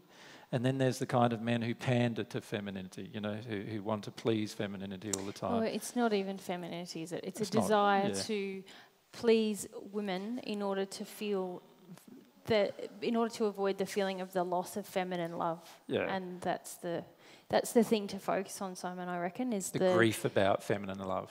Yeah. The, gr- the truth and is that it's very, very hard. Um, any person on the planet is very, very hard at the moment to feel loved by a woman, whether you're, and I'm sorry for mothers, I know many mothers believe that their love is the strongest for their children, but I put to you that most mothers who actually believe that actually have very strong control of their children. And if you look at the relationships and the damage that it does to the children, you'll see the control coming out sooner or later. The reality is that uh, unfortunately, true femininity is still not been uh, demonstrated on the planet. It's something we hope to see demonstrated on the planet, uh, you know, shortly. And I, I, hope many of you will be part of demonstrating that on the planet. Um, but to you're correct, Simon, in that you've got to connect to the feminine side of God in order to do that. And the, the problem is that very, very few people even recognize the feminine side of God, let alone connect to her. Yeah, yeah when you when you asked yesterday the question, the question, or like, what questions do we have to God? Mm. And I just felt like the I just asked uh, how um, like not connecting to my mother at all felt yes. really disconnection, and then the tears came out. Like, yeah. but there's huge grief. Yeah, I, I, have some very large grief about it, and uh, and I'm still working way through it uh, now. You know, as we as we're talking about this, and and I feel it's going to take some time yet before I resolve the issue, because I just can feel the amount of grief that I have about the loss of the, that connection with God and the loss of that connection with my soulmate in that pure state. Um, so I have quite a lot of grief about it. But I think most people on the planet do have quite a lot of grief about it. And when I talk about the femininity, I'm not talking about the earth goddess you know, the New Age goddesses, you know, like I, I put to you that uh, many of the people who view themselves as New Age goddesses are actually enraged with males. And in fact, in fact, you very rarely hear of men on earth calling themselves gods, but you do hear of many women being called or calling themselves goddesses and uh, and that is a sort of a, it's almost a kickback to the damage that the women have received, and then now they're in rage, anger, and control about it, trying to trying to tell themselves that they're goddesses when the reality is they still don't really feel that inside of themselves. So uh, there are a lot of healing things that need to occur between the masculine and the feminine, and uh, and the reality is that as we get closer to God, we will also heal the different injuries we have towards the masculine or towards the feminine, depending on what gender we are. And, uh, and while we refuse to heal them, we are in anger, not in any other emotion. yeah. yeah. So that's the thing we need to remember. Thanks a lot. Yeah. If we come down to Eva, if we can.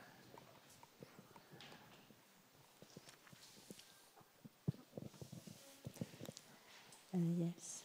Uh, I would uh, love to hear some about the emotions with uh, losing the erection and what part I may play in that as a woman. Yep, yep, certainly.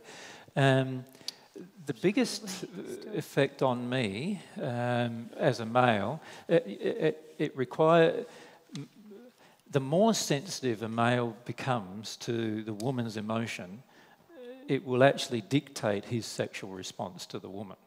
See, most men on the planet historically have not been very connected to the woman's emotion. So, in other words, the woman is almost like a possession. In the past, this is particularly the case. In multi generations in the past, women were just possessions. So, basically, from a male's perspective in the past, a woman was just a sex doll, really, right? And a baby production system, and a cooker, a cooker, and a cleaner, and a washer upper, and all of those kind of things. That's how the, many men treated their women. Now, of course, as a result of that, many women multi generationally have a lot of anger about being treated this way. And even if you personally weren't treated that way, it's a high likelihood your parent or your grandparent or you know your mother or your grandmother or her grandmother was treated that way. And, uh, and because of the way, you know, it's only very recently that women have felt empowered. In fact, it's only very recently that women are even given a vote, let's face it, let alone any other form of control over their life. And still, in many countries, they're not given a vote, they're not allowed to buy property, they're not allowed to do so many things. So there is this multi generational thing that is still being perpetuated today. So the woman's emotions then get quite intense. Now, if I'm a male who is sensitive to her emotions, then what I'm going to feel is the barrage of those emotions aimed at myself because I'm a man. Now, in Mary's case, um, I feel it not only because I'm a man, but because Mary has anger and rage about my death in the first century and my choices that I made in the first century that are in her now. Does that make sense? Now, as a result of that, when we come together, if any of those emotions are unfelt within Mary, in other words, she's not connecting to them, she's trying, she's trying to suppress them, she will actually be pro- projecting them. They'll be, they'll be pushed out of her towards myself. Now, as soon as I feel those emotions, because I'm sensitive to her feelings, I immediately lose my erection as a result. Does that make sense?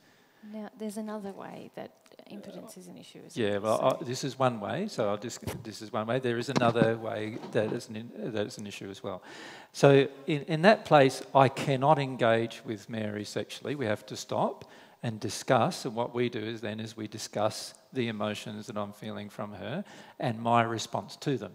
So my response to them is to sort of go into my shell, you know, to to say, oh, this barrage coming from you is too much for me to handle. I feel totally unloved and unwanted. I don't feel like I'm desired, and I just and because my um, this, because of some of the injuries I have about that, I, I just go into my shell with it, and I, I talk about it with Mary, of course, but we have to resolve both of the emotions. So Mary needs to look at her rage and anger, and I need to look at my response to her rage and anger. It's also about love and will. In in your in, in your case, you can feel that my will is not actually to have sex because I'm projecting these yeah. things, and so you respond quite uh, sensitively to that. Yeah. As soon as I feel from Mary that she is not interested in having sex, then I will instantly lose an erection anyway. So as soon as I feel from her she's not interested. Does that make sense? Um, and the reasons for a lack of interest may be many-fold. It might be she's being harmed by spirits at the time, or she might be being in self-blame at the time. You know, she's feeling self-punishing at the time, or she might have some of these emotions that she's not allowing herself to feel. Even if I get triggered in fear or shame, um, that's not even related, but it just comes up as a result of my something in my body being triggered through the act, yeah. then you immediately. I immediately have yeah. to stop. Yeah. Like, and what I do then is just let Mary work through that emotion. And once Mary's worked through the emotion, I can feel, and my body responds even to her working through the emotion. So if Mary works through the emotion while we're laying in bed together, eventually I'll get an erection again without even touching her. Like, does that make sense? Like, it, it, because of the sensitivity to her, her emotion. Now, um, that's one reason for why a man may, may lose his erection. He may be very sensitive to the emotion and therefore, you know, be able to respond to in that way, which I feel is actually quite a loving way, in the sense that uh, why would you want to have sex with a person who doesn't feel a, or feels a lack of desire, or why would you want to have sex when the will of the other person isn't involved? Why would you want to have sex, you know, if they feel angry towards you and those kind of things? For many men, though, uh, impotence is actually, or losing of their erection, is actually more about rage. Uh, and for many men, the speed of their orgasm is more about rage than it is about sensitivity to the woman's emotion. So do you understand what I mean by that? Yeah, that it had could have something to do with their uh, they don't want to please the woman yes. to that extent any longer. Yes, that's correct. Uh, so many men want to have the orgasm, get over and done with, and then not please the woman any longer than that.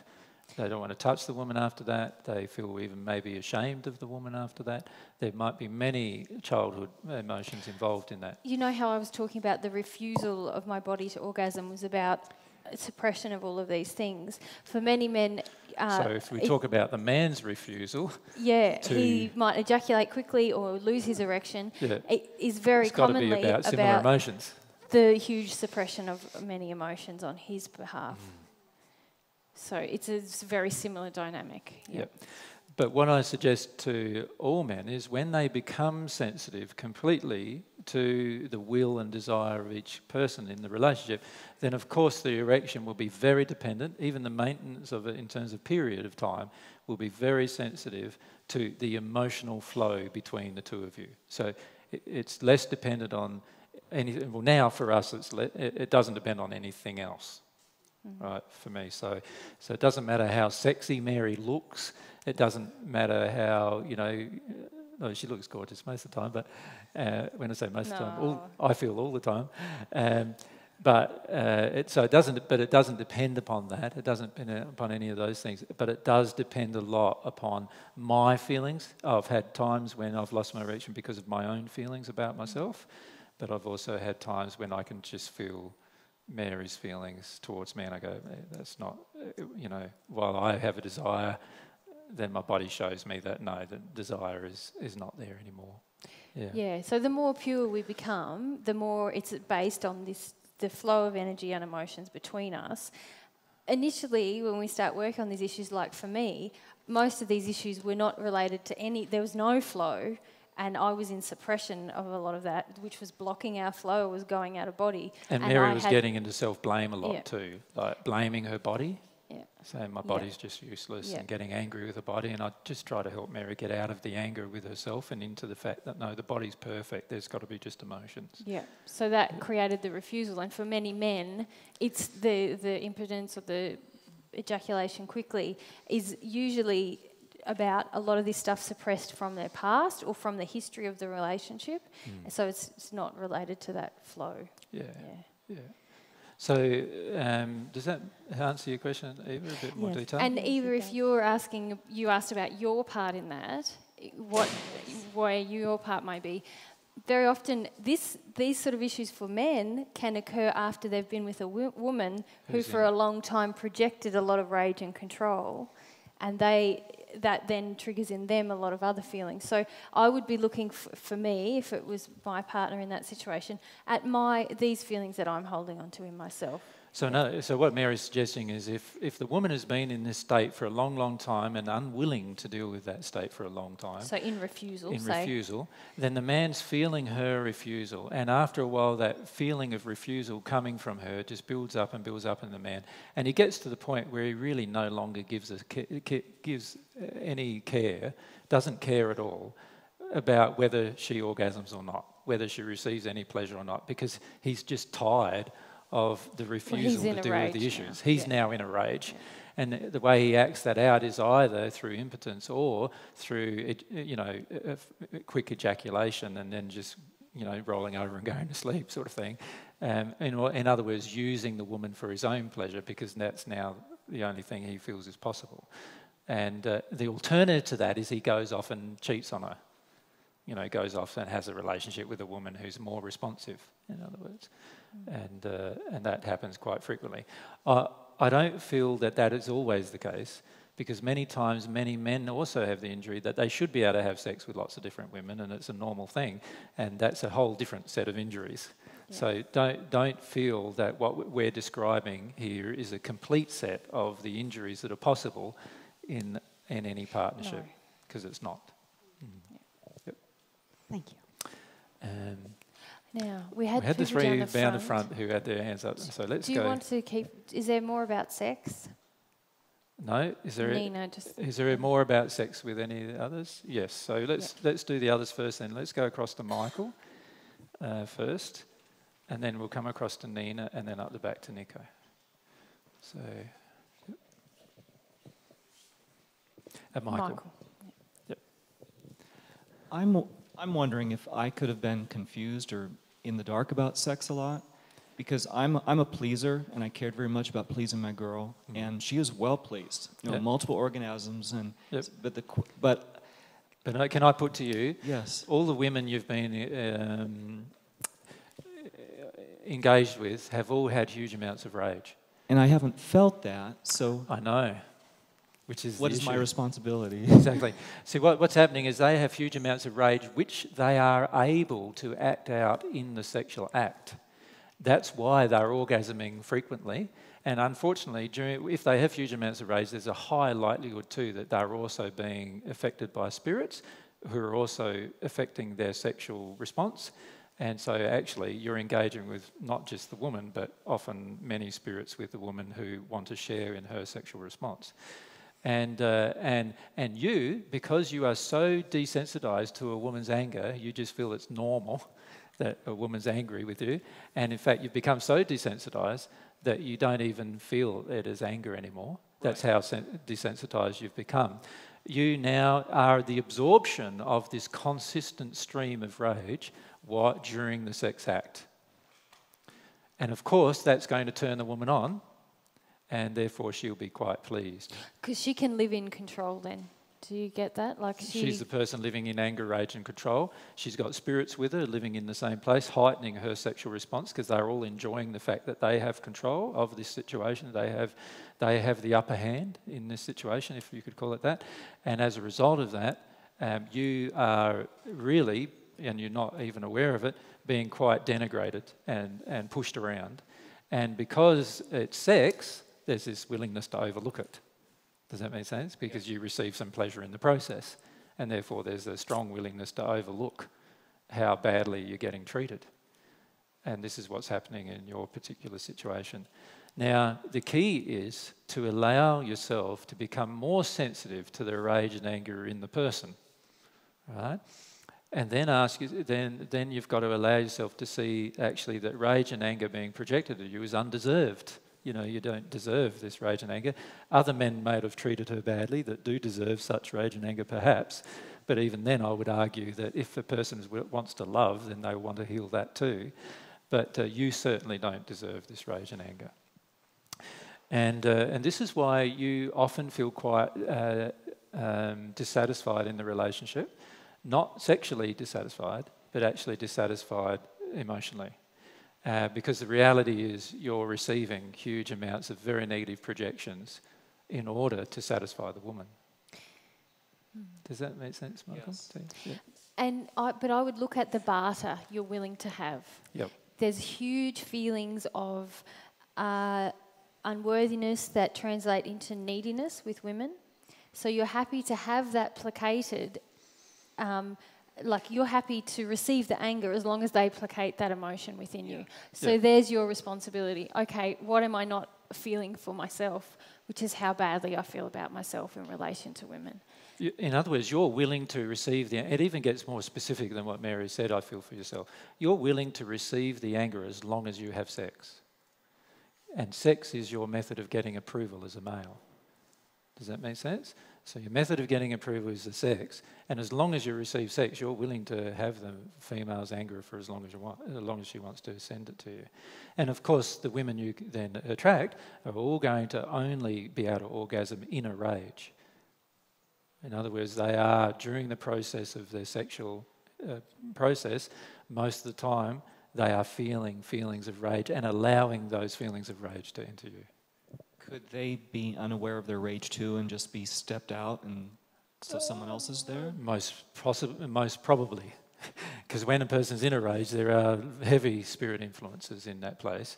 And so, therefore, you know, she's just feeling. The reality is, she's just feeling her own orgasmic state, not realizing that her orgasmic state has been heightened by not only her own rage, but the rage of the spirits with her who are then use, who are then utilizing her rage in order to feel sexual feelings, and uh, that's a in other words, she's not really participating in her own sexual experience. Mary in the first century had experience with this a lot, where she was in a rage with men and often acted out that rage and in a spirit-induced state. And, the, and most of the men accepted it because of the same emo- feeling of sex is sex. So you get, you've got to be happy when you have it, you know. Yeah. Mm. Yeah. Does that answer the? Yeah. yeah. And that does define most of your female relationships, doesn't it? Yeah, many of them are carrying around large amounts of rage, which they do, which they do project at you at times other than sex, if you think about it. So and I have difficulty getting to my grief, so I'm guessing that that's where I need to go. Well, yeah, there's this first, there's a belief, whole set of belief systems first, uh, Michael. The, the, belief system that uh, actually this is allowable is it, begin, it begins the problem, where you're allowing the woman who's angry to use you and you've got to look at why, you know, would you normally be attracted to such an angry woman? Does that make sense? Like, so you've got to look at that, like the attraction you feel towards the, the angry, the angry woman and resentful woman, and you've got to look at, uh, you know, why you feel so attracted to that angry, resentful woman. And partly, I feel, is because some spirits with you know that they will give you lots of sex as long as you please them. does that make sense? And your method of getting approval as a male is by the woman wanting sex with you. Do, do you follow me? Now, you're willing to overlook large amounts of rage in your day to day existence with her. You know, so she comes home angry, she's fitting chips most of the time. You're willing to overlook all of that as long as the sexual union seems to be consistent and uh, and that's the place to start. You know, the, the willingness to overlook poor behaviour just because you are getting some sexual feelings from her. Unfortunately, most of the women who into, who who um, have um, any any form of interaction with you, most of them are in sexual rage, and they know that you are the kind of person who will be able to allow that to come out during the sex act without it, without, and they, they know they're going to have some enjoyment of that. Mm. And yeah, uh, yeah, yeah. you want to say? Oh no, it's just a little round off, probably just about addictions, emotional addictions. Yeah. Um, uh, like before we even get to the grief that drives an emotional addiction, we have to first be willing to see the extent of the addiction. And that's basically what AJ's describing to you. Mm-hmm. You have to be willing to see how big this is in your life, how much the barter occurs, how, what, see the extent of what's happening, and then connect to the damage that that is doing to you and to the other people involved. Really be willing to see those first two things because until you are, it's going to be very hard to get to the grief of what's actually what you're actually avoiding of what's actually happened. Yeah. because while we're not willing to see those things we're not really willing to like open the windows and see really what's there. It's very hard to get deeper. We can go oh intellectually this is grief about not feeling loved by mum. I just but but we're not willing to see just how big it is a theme in our life um, we're never fully going to release how much is actually there. That's my feeling, anyway. Is that yeah, and and that? yeah, definitely. Yeah. And and what's happening for yourself is that you are um, staying in the addiction because it's a preferable state to feeling the grief that's that's really within you about how you're being treated on a day-to-day basis. You are overlooking the treatment generally in preference to the treatment sexually. And many men do do this because of our addiction to sex as a way of getting the feelings of sexual approval. So that, that, that, that's one of the reasons why we do it. And, um, and we need to look at that as a, because this is not an equal relationship now. This is one person projecting huge amounts of rage through the sex act at the other person. And it's very, very damaging for you to absorb it into yourself. But it's also damaging for the woman because she's becoming more and more connected to her sexual rage, living in her sexual rage, never releasing it, in fact, and unfortunately, in that state, becoming overcloaked with spirits during the sex act as well. So you're not only having sex with one person now, you're, you're basically having threesomes or more uh, every single time you're engaging sexually. And, and the other thing is that if you think about it on your day to day relationships, you have been very disappointed emotionally you feel often quite misunderstood, quite unappreciated, and so forth emotionally in these relationships, but because of the sex, stay in the relationship. And quite often, you absorb quite a lot of anger uh, that's not just sexual in the relationship, but you absorb that anger because of the sexual, the sexual connection being strong, what you feel is strong. Also, one other thing I'd like to bring to your attention is that uh, at least one of the women in your past have become lesbian after leaving you. And uh, that's a, my suggestion to you is to consider that's how much sexual rage they have towards the male. Does that make sense? Yeah. And that's uh, something to just allow yourself to feel about. Yeah. It's good, Michael. Yeah. Um, is there any questions associated with what I just discussed with Michael? Yeah, perhaps we can come across to Anto and then. Di. Could you just talk a bit more about the spirit influence at that time? Like, when does it actually stop? When you're in a sex act, when are you not influenced by spirits? Um, at what point do you reach? Um, remember that our pure emotions are all loving, right? They're all lovingly based all of our other emotions, which are like rage, anger, control, fear, shame, all of the emotions that eventually we need to release from us, they are all not based in love. They are based in other things. Now, now, whenever we are unable to actually feel the emotion and we're using the emotion, there's a difference between feeling the emotion and releasing it and using the emotion to maintain a state. So what happens is like when you get into a rage, all of you at some point in your life surely have been in a rage, right? When you get into a rage, in that place, there is a desire to maintain the state as long as possible most of the time. Now, the reason for that is that we have no desire to get underneath that state and into the actual emotion we really do feel. And so the rage is the preferred power based position. Now, while I am searching for power, and rage, anger, and control are all forms of power that I'm searching for, while I am searching for power, not only am I avoiding more causal emotions of fear and shame and the underlying grief under those things, but not a, I am now in the state where many spirits are going to be attracted to express their emotions through me. Now, if the rage and anger and control feelings are, are revolving around the sexual acts, then during the sexual acts, I am going to definitely be overcloaked or engaged with spirits sexually. Now, that can only stop when I'm willing to actually own the rage and anger that I have inside of myself without having sex and actually express that and release that and then get underneath that to the fear and shame, the terrible terrors and shame that exist that the avoidance of causes the rage of. Does that make sense? So while I'm heavily trying to shut myself down in this area, I will revert to this area. And when I revert to this area and live in it, now I am definitely going to attract many spirits around me who wish to engage those feelings with me.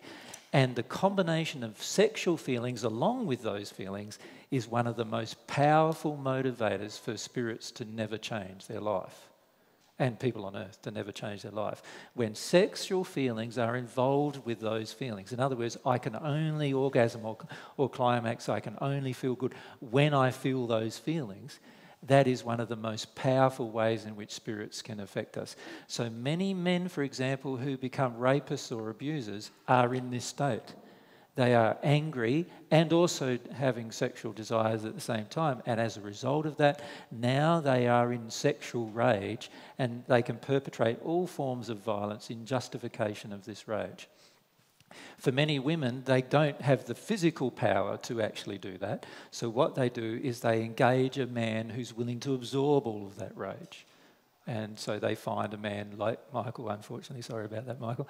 Um, and they find a man like Michael and project all that rage to him. And during that rage, also can now orgasm. And in that place, many spirits are actually involved in the actual process. Right? The critical point is when we own it you know, then as you know with other spirit influence, it's very, a spirit cannot, it's only when we want to live in the state, project the state, suppress the state, that spirits can hook in. As soon as I own, I'm angry and it's my feeling, it's not your fault, it's my feeling, spirits can't be they can't maintain the connection. Yeah. So that's why when myself and Mary are together, whenever Mary feels that anger, whether it's towards me or other men uh, in the past that she's ha- that she's been involved with, I mean in the first century past, then that she has a lot of rage towards because of how damaging they were towards her. Then I, we just stop straight away, and I just encourage Mary to just go into this rage, just go into the rage, and and the rage might last 20 minutes or half an hour or an hour or whatever, just allow the going into the rage. While you're in your personal rage, now spirits can't, while you're actually feeling the emotions related to that rage, spirits can now not affect you with their rage. It's your denial of your personal rage that causes spirits to be able to greatly influence you in that state and connect with you sexually and so forth. And before you know it, before you know it, many even have heightened sexual experiences in that state. So they actually tell themselves they're even more connected than they normally are, when the reality is, remember I described yesterday how when an emotional flow occurs outside of me, how now the sexual feelings through me can pass. They have, they're not blocked anymore. So if I have a deep injury of sexual rage and I find somebody who has no sexual rage, but in fact the opposite emotion of absorption of sexual rage, now there's a connection. Now my sexy feelings will be very strong. And then if I'm in the rage, I've got spirits with me enhancing those feelings because I'm allowing the flow of those feelings in that state. Now the spirits with me can enhance those feelings even stronger. And before I know it, I'm just like a sexual monster, really, in a lot of ways, projecting all of this up. And I'm enjoying myself it doesn't mean that the uh, other person is. But this person may be enjoying and they themselves. May be, if they have a lot of shame, then they feel I'm sexually disgusting. Or they have a lot of sexual unworthiness. Yeah. They'll absorb all they'll that and feel that quite in. turned on as well in the yeah. process. So it will feel great to both people, but the reality is it's not loving. So, so whilst we're growing in, like for example, when we've felt certain emotions and then we have a desire for each other and we go into an act, mm-hmm even though we've still got all those other emotions we haven't dealt with, we're still allowing the, I guess, during the act itself, we're still allowing other spirits to come in because of that other set of emotions. It's the shutdown of those emotions that allow the other spirits to come. So, so at various degrees. When you're yeah. in full engagement, you're not now allowing spirits very well at all. In fact, you they, don't, they can't. You don't have in. to be completely healed yeah. to have to have no spirit influence. You just have to be completely in your body and in your experience. So you can come together. You can deal with some emotions and come together in a pure desire or a desire that's based fairly purely. Mm. Um, and stay connected with each other and your body in that state, and no spirit can be involved. It's when, if you're in that act, something gets triggered for one of you and you suppress it, then you open it. Can I draw to your attention too, Anto, that, that um, spirits who do this are all in the hells or in a condition of the hells. So if, you're, if you together are in a second sphere condition, they already are going to be very uncomfortable around you, no matter what emotions you feel. I mean, when we started this path, we actually had experiences where we realised it wasn't actually us. Exactly. We were involved in an act. We totally overcloaked. We woke up and realised we were actually having sex and it's not, yeah. we weren't aware of it. Yeah. But now things are slightly changing. So yeah. I was just wondering about. And as your condition grows, so once you get to a, about a third sphere condition together, and in that place you're in total truth with each other and you have no longer any fear dominance in your in your entire life. So in other words, truth always dominates your entire life. So you'd never engage anybody in a fearful way. In that state, it's very very hard for any spirit now to influence uh, the sex act between the two of you because most spirits who could do so would be in the hells and to even be in your presence they feel is uncomfortable mm. so so that disconnects you almost completely can I just can I just say there yeah. is some huge. I'm shaking. Huge, since we sta- since you started speaking to the men, the men have started asking questions, and you've addressed some of the masculine emotions. The whole, and I don't know if anyone else can feel that. The whole energy has dropped, and there is a lot of rage being projected at me right now. So um, there's obviously some spirits here. I'm just going to love them um, because they're feeling a bit challenged about loving men. So. They're women spirits. They are. Affecting yep. many of the women in the audience now. Um, and yes, you know, the, the uh, challenge is to heal these intergender emotional injuries. The fact, uh, many of you women who are hearing this stuff when we talk about men, if you're finding yourself getting tired or finding yourself sort of just a bit, fla- you know, feeling like exhausted all of a sudden, that is the amount of women's spirit influence you are under to not know anything about a man's emotion.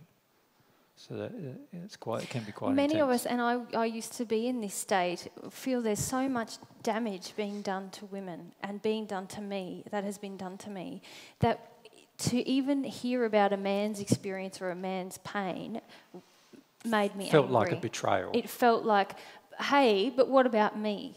You know, my pain is paramount, it's more, and the justification of my fear and all of those things made me very resistive to, to hearing even about a man's experience and how, how you know, I think it's beautiful that the men are opening up and sharing their experiences. Yeah. Um, because in our earlier relationship, what would happen is I would listen to Mary for hours and hours about her emotions. As soon as I opened my mouth to speak just one about one emotion, Mary would close down completely. Yeah. She wouldn't even want to hear it at all. She'd walk, get up, walk out. All of a sudden, she had to do other things. Whatever would happen, there would never be an overt "No, I don't want to hear you," but but it would just happen every single time. And there were a lot of women spirits helping me with that because yeah. I was in avoidance of all these things. Yeah. So. So I suggest to you, if you're feeling closed down or feeling uh, sort of in a rage about a male, listening to a male about his emotions of sadness about sexual connection, for example, then, then and this applies to the spirits who are here, yeah. then, then actually that tells you that you're actually in a lot of rage with men that you're not willing to feel and grieve. And what you, if you ever want to be happy, the only way is to get through that rage and into the fear and shame, and then underneath that, into the grief uh, and this applies to many of these women's spirits. They are very resistive to getting into this grief, and so they want to. They want every woman on the planet to be angry with men generally. It's a bit. It's a bit sad in a way because if you think about it, uh, just imagine it this way: if, if many of you women have a love of your children, right? Just think about it this way. Here's you here's the man that harmed you, or let's say the men that harmed you, right? He is a male child of yours. Now, you, if you have huge amounts of rage and anger that you continue to project or continue to feel inside of yourself towards men,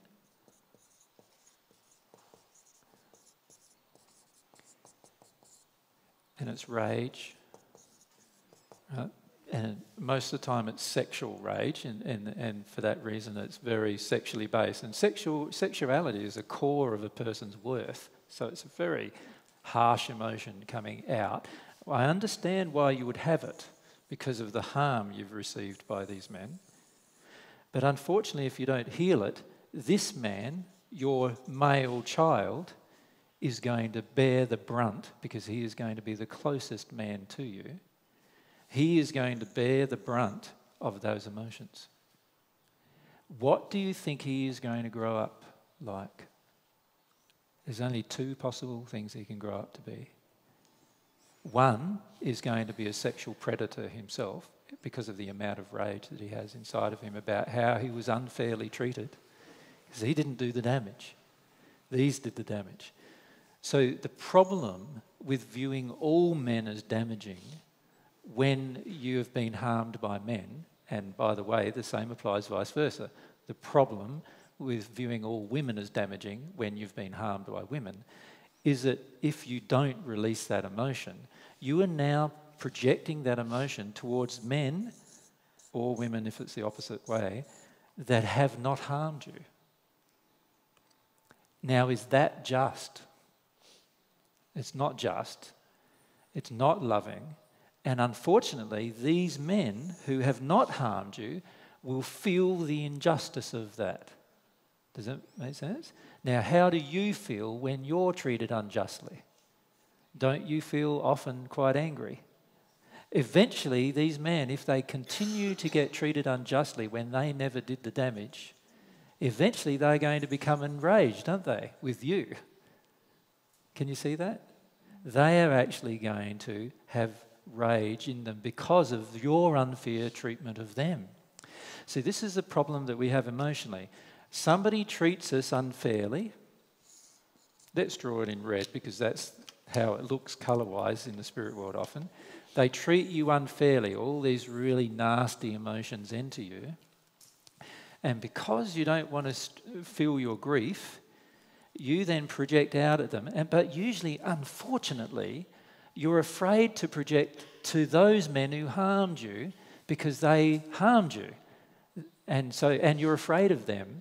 So you have fear of them. So, of course, you're not going to project anger and rage at them, are you? Because you're afraid of them hurting you even further. And so, what you finish up doing is projecting your rage and anger towards the men who will receive it, who actually haven't hurt you, who you're not afraid of. And that is very unjust. It's an unjust act. And not only is it an unjust act, it lacks courage because the real, any, if there is any rage and anger that you're going to, you know, feel, it should be towards the perpetrator shortly, not towards people who are innocent.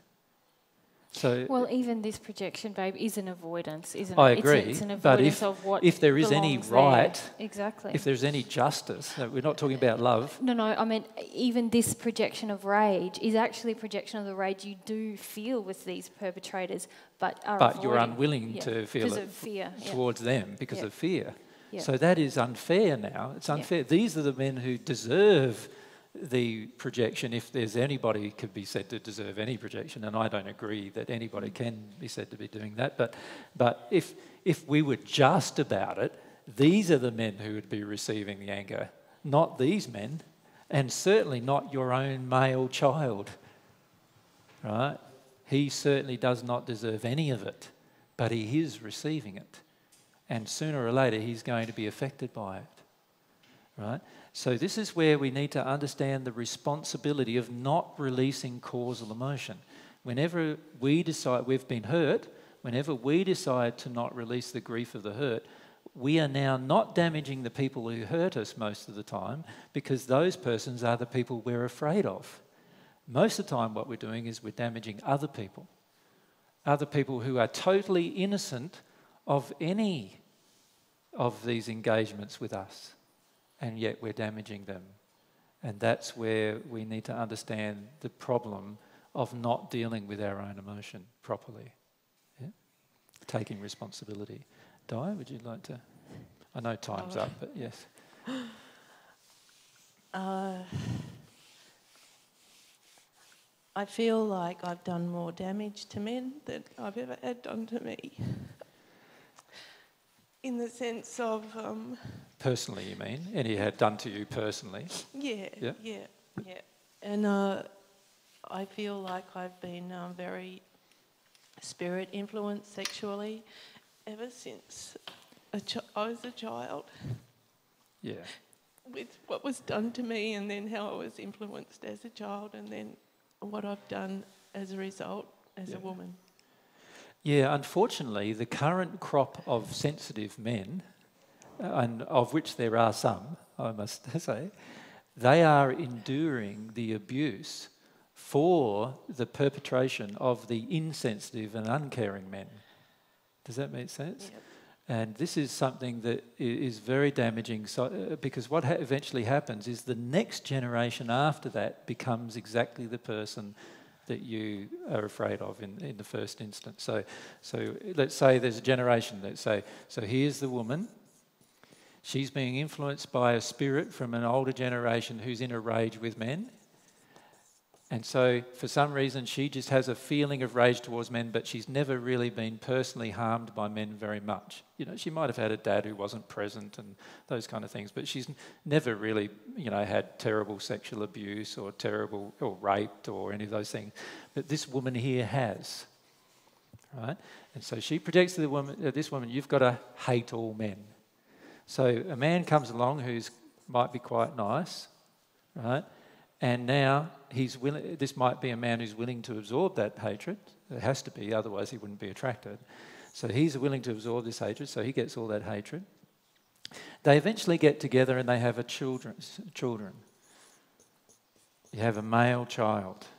The male child receives all that hatred. He's only going to grow up to be one of two things. He's going to either be a perpetrator of, of anger towards women because of the injustice of his own projection from his mother, or he's going to be a pleaser of women, just like his father. He can only be one of those two. Yeah, he's more. A, he's a woman pleaser. yeah, yeah. He he can only ever be one of those two things, right?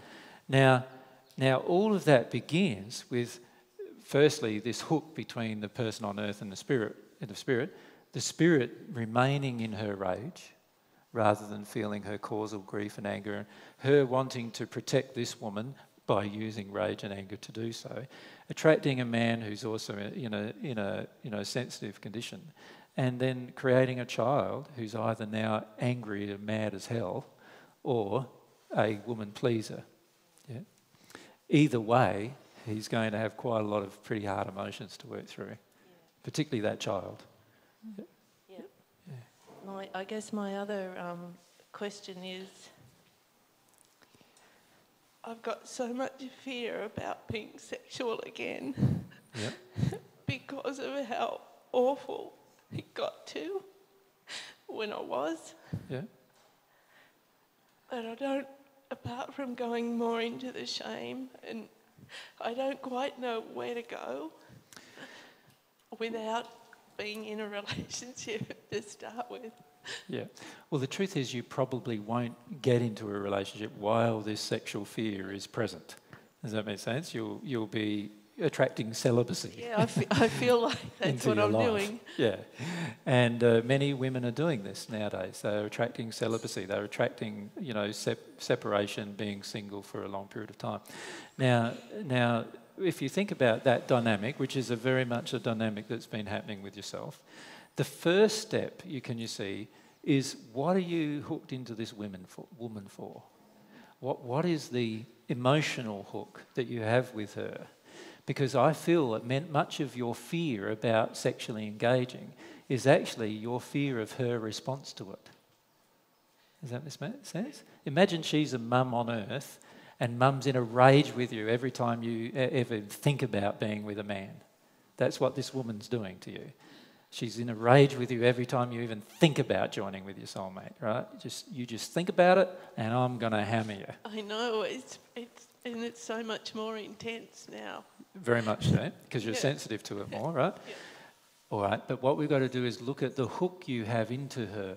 Why that? Why are you, you keeping her with you? Yeah. Why are you responding it? Now the hook has to be fear, doesn't it? So what is this fear of? It is fear of angry women. Now, who does that remind you of? My mother. So it's fear of your mother. It was fear of mum. You're afraid of your mother and her opinions. Does that make sense? Yep. Yeah.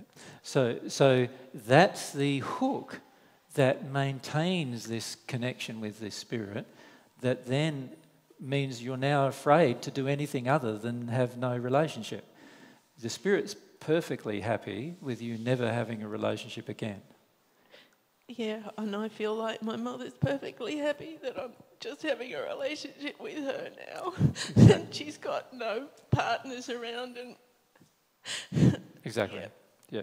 And even my son now wants to sort of go and look after her in a sense emotionally. Will, I watch that as well. He'll be yeah. feeling your guilt and other emotions as well. Yeah. So, so the real problem you face is not to do with your fear of sexual eh, a relationship. Your real problem is your fear of your angry mother and her opinions of you having a sexual relationship. Does that make sense? Yeah. Thank you. And that's the emotion that uh, needs to be addressed first. When you address that emotion, you'll find your fear of a sexual relationship will lessen quite considerably. And as a result of that, you'll feel more inclined to engage, you know, the person who you feel is your soulmate more sexually. Does that make sense? If he's willing, of course. Thank you. Thank you. And of course, he's going to be oh, more willing. He's going to be more willing, isn't he, if he doesn't feel this continual fear of, the, of angry, rageful women around you? Because because what is terrible as a male to feel that your wife or your partner is more concerned about her mother than she is about you. She's more worried about her mother's opinions than she is about you. She's more concerned about pleasing her mother than she is in pleasing you. And, and it just feels like you're always going to take second, if even that, you know. Because the reality is, if, you, if you're afraid of your mother, you're going to be afraid of every other woman. So how it looks, how it looks in terms of the male who's looking at a relationship with you is like, here's you with a dress, here's you a relationship with you, I've got to firstly go through your mum and get her approval of me, which is highly unlikely, but because she's an angry woman who hates men, so you know I'm a man. You know it's going to be pretty hard to get her approval.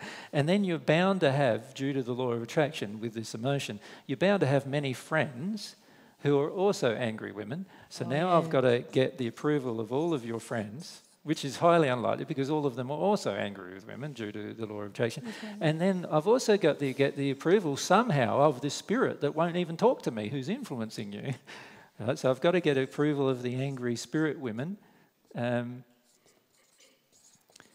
who are with you. Now, the average male looks at that and goes,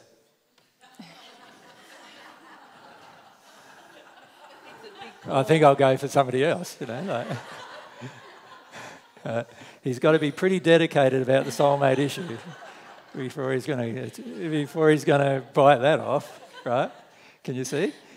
And then, and then for many women, they also have a feeling. Uh, many women who are attracted to this also sometimes have a feeling of connectivity with their father. So, so now we've got another set of emotions. There's daddy down here, whether he's in the spirit world or on earth, and he gives her all these feelings, nice feelings of approval and acceptance, and he, she's the special girl and all that kind of stuff. So, special girl type feelings towards his daughter.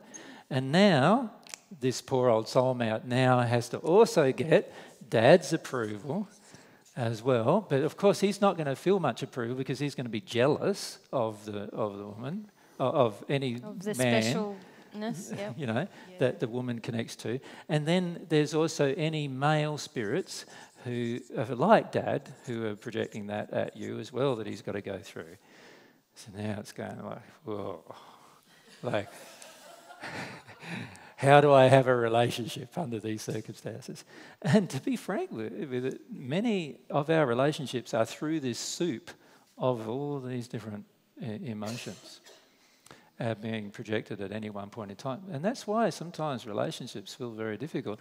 It's not because of the one on one interaction most of the time that, it, that it's actually difficult, it's because of all of this other things going on. All the hooks into everything. All the hooks into everything else. Yeah. Thank you. Now, I think we're well and truly two hours up, aren't we? There's lots of people with lots of questions, isn't there? Yeah, and uh, we're not probably going to uh, are able to answer any more of them uh, now if we want to get on to the other subject that we wanted to cover today.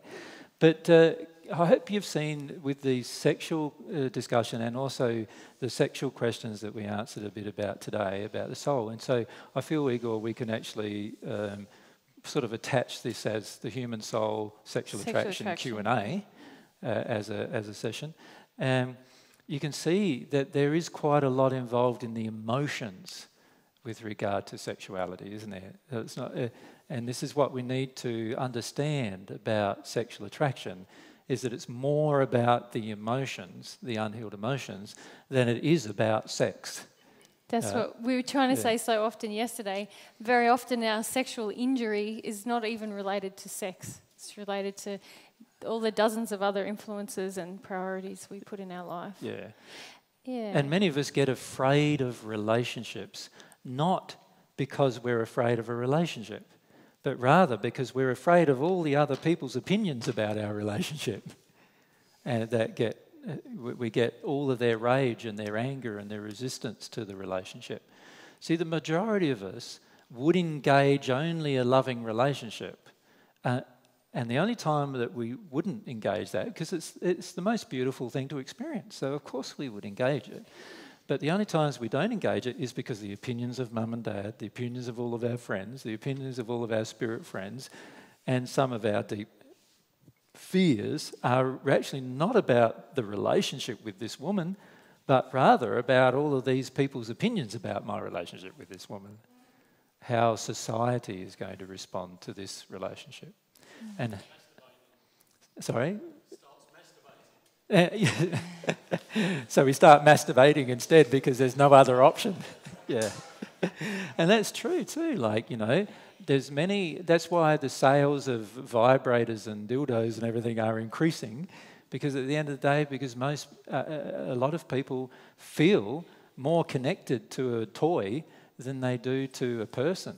Um, and they actually feel afraid of the person, but they're not feeling afraid of the interaction with a person necessarily, but rather all of these other things that are going on. So this is the thing to yeah.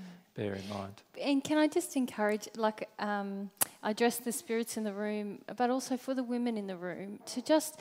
I know we've spoken a lot about the injuries in women, and that is because I'm really walking this path through all of my sexual injuries at the moment. And so I believe there's a law of attraction that is even created through that and just to encourage you all, as I am endeavouring to do, to soften into this not just the grief and shame that I have inside of me, but the demands and expectations I have on men to help me avoid those things, and the unloving belief systems that I have about men.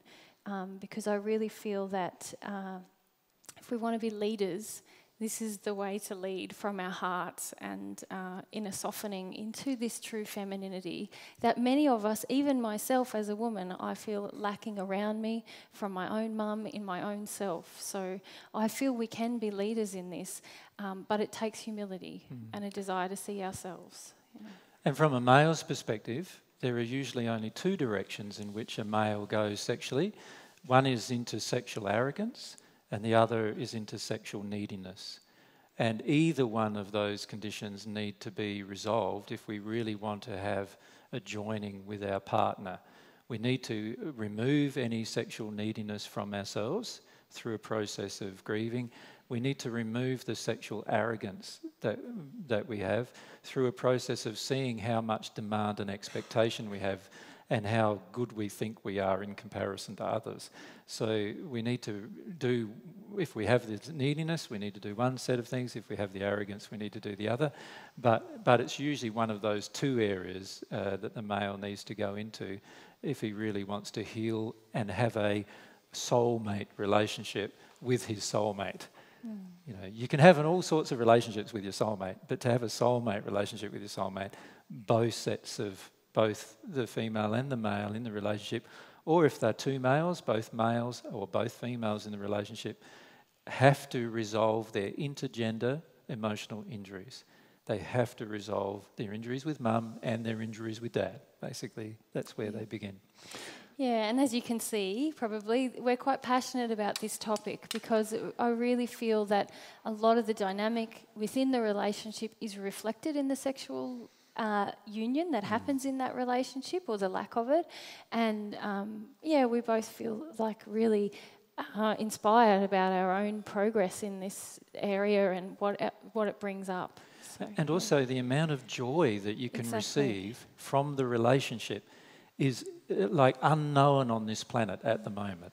The amount of joy you can receive from a relationship is totally unknown in terms of pure joy that's based upon love and truth and, and desire is totally unknown on the planet.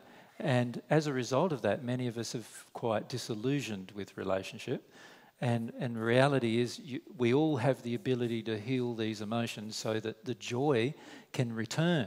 And then this relationship becomes so binding and intense and, and, and enjoyable that you don't consider anybody, uh, uh, having a relationship with anybody else. You don't need your mummy and your daddy and your brother and your sister and your friends. You don't need them anymore. And because you don't need them anymore, you're no longer in addiction with them anymore. And now you can love them more. And so, actually, the binding of the relationship can cause both parties in the relationship to become more loving to everyone else as a result. And that's the beauty and the effect that it has in the world around you. So we just thought we'd remind you of that before we close uh, and have some something to eat. Um, after the break, we'll talk about a totally unrelated issue. So, uh, so we'll introduce that after the break.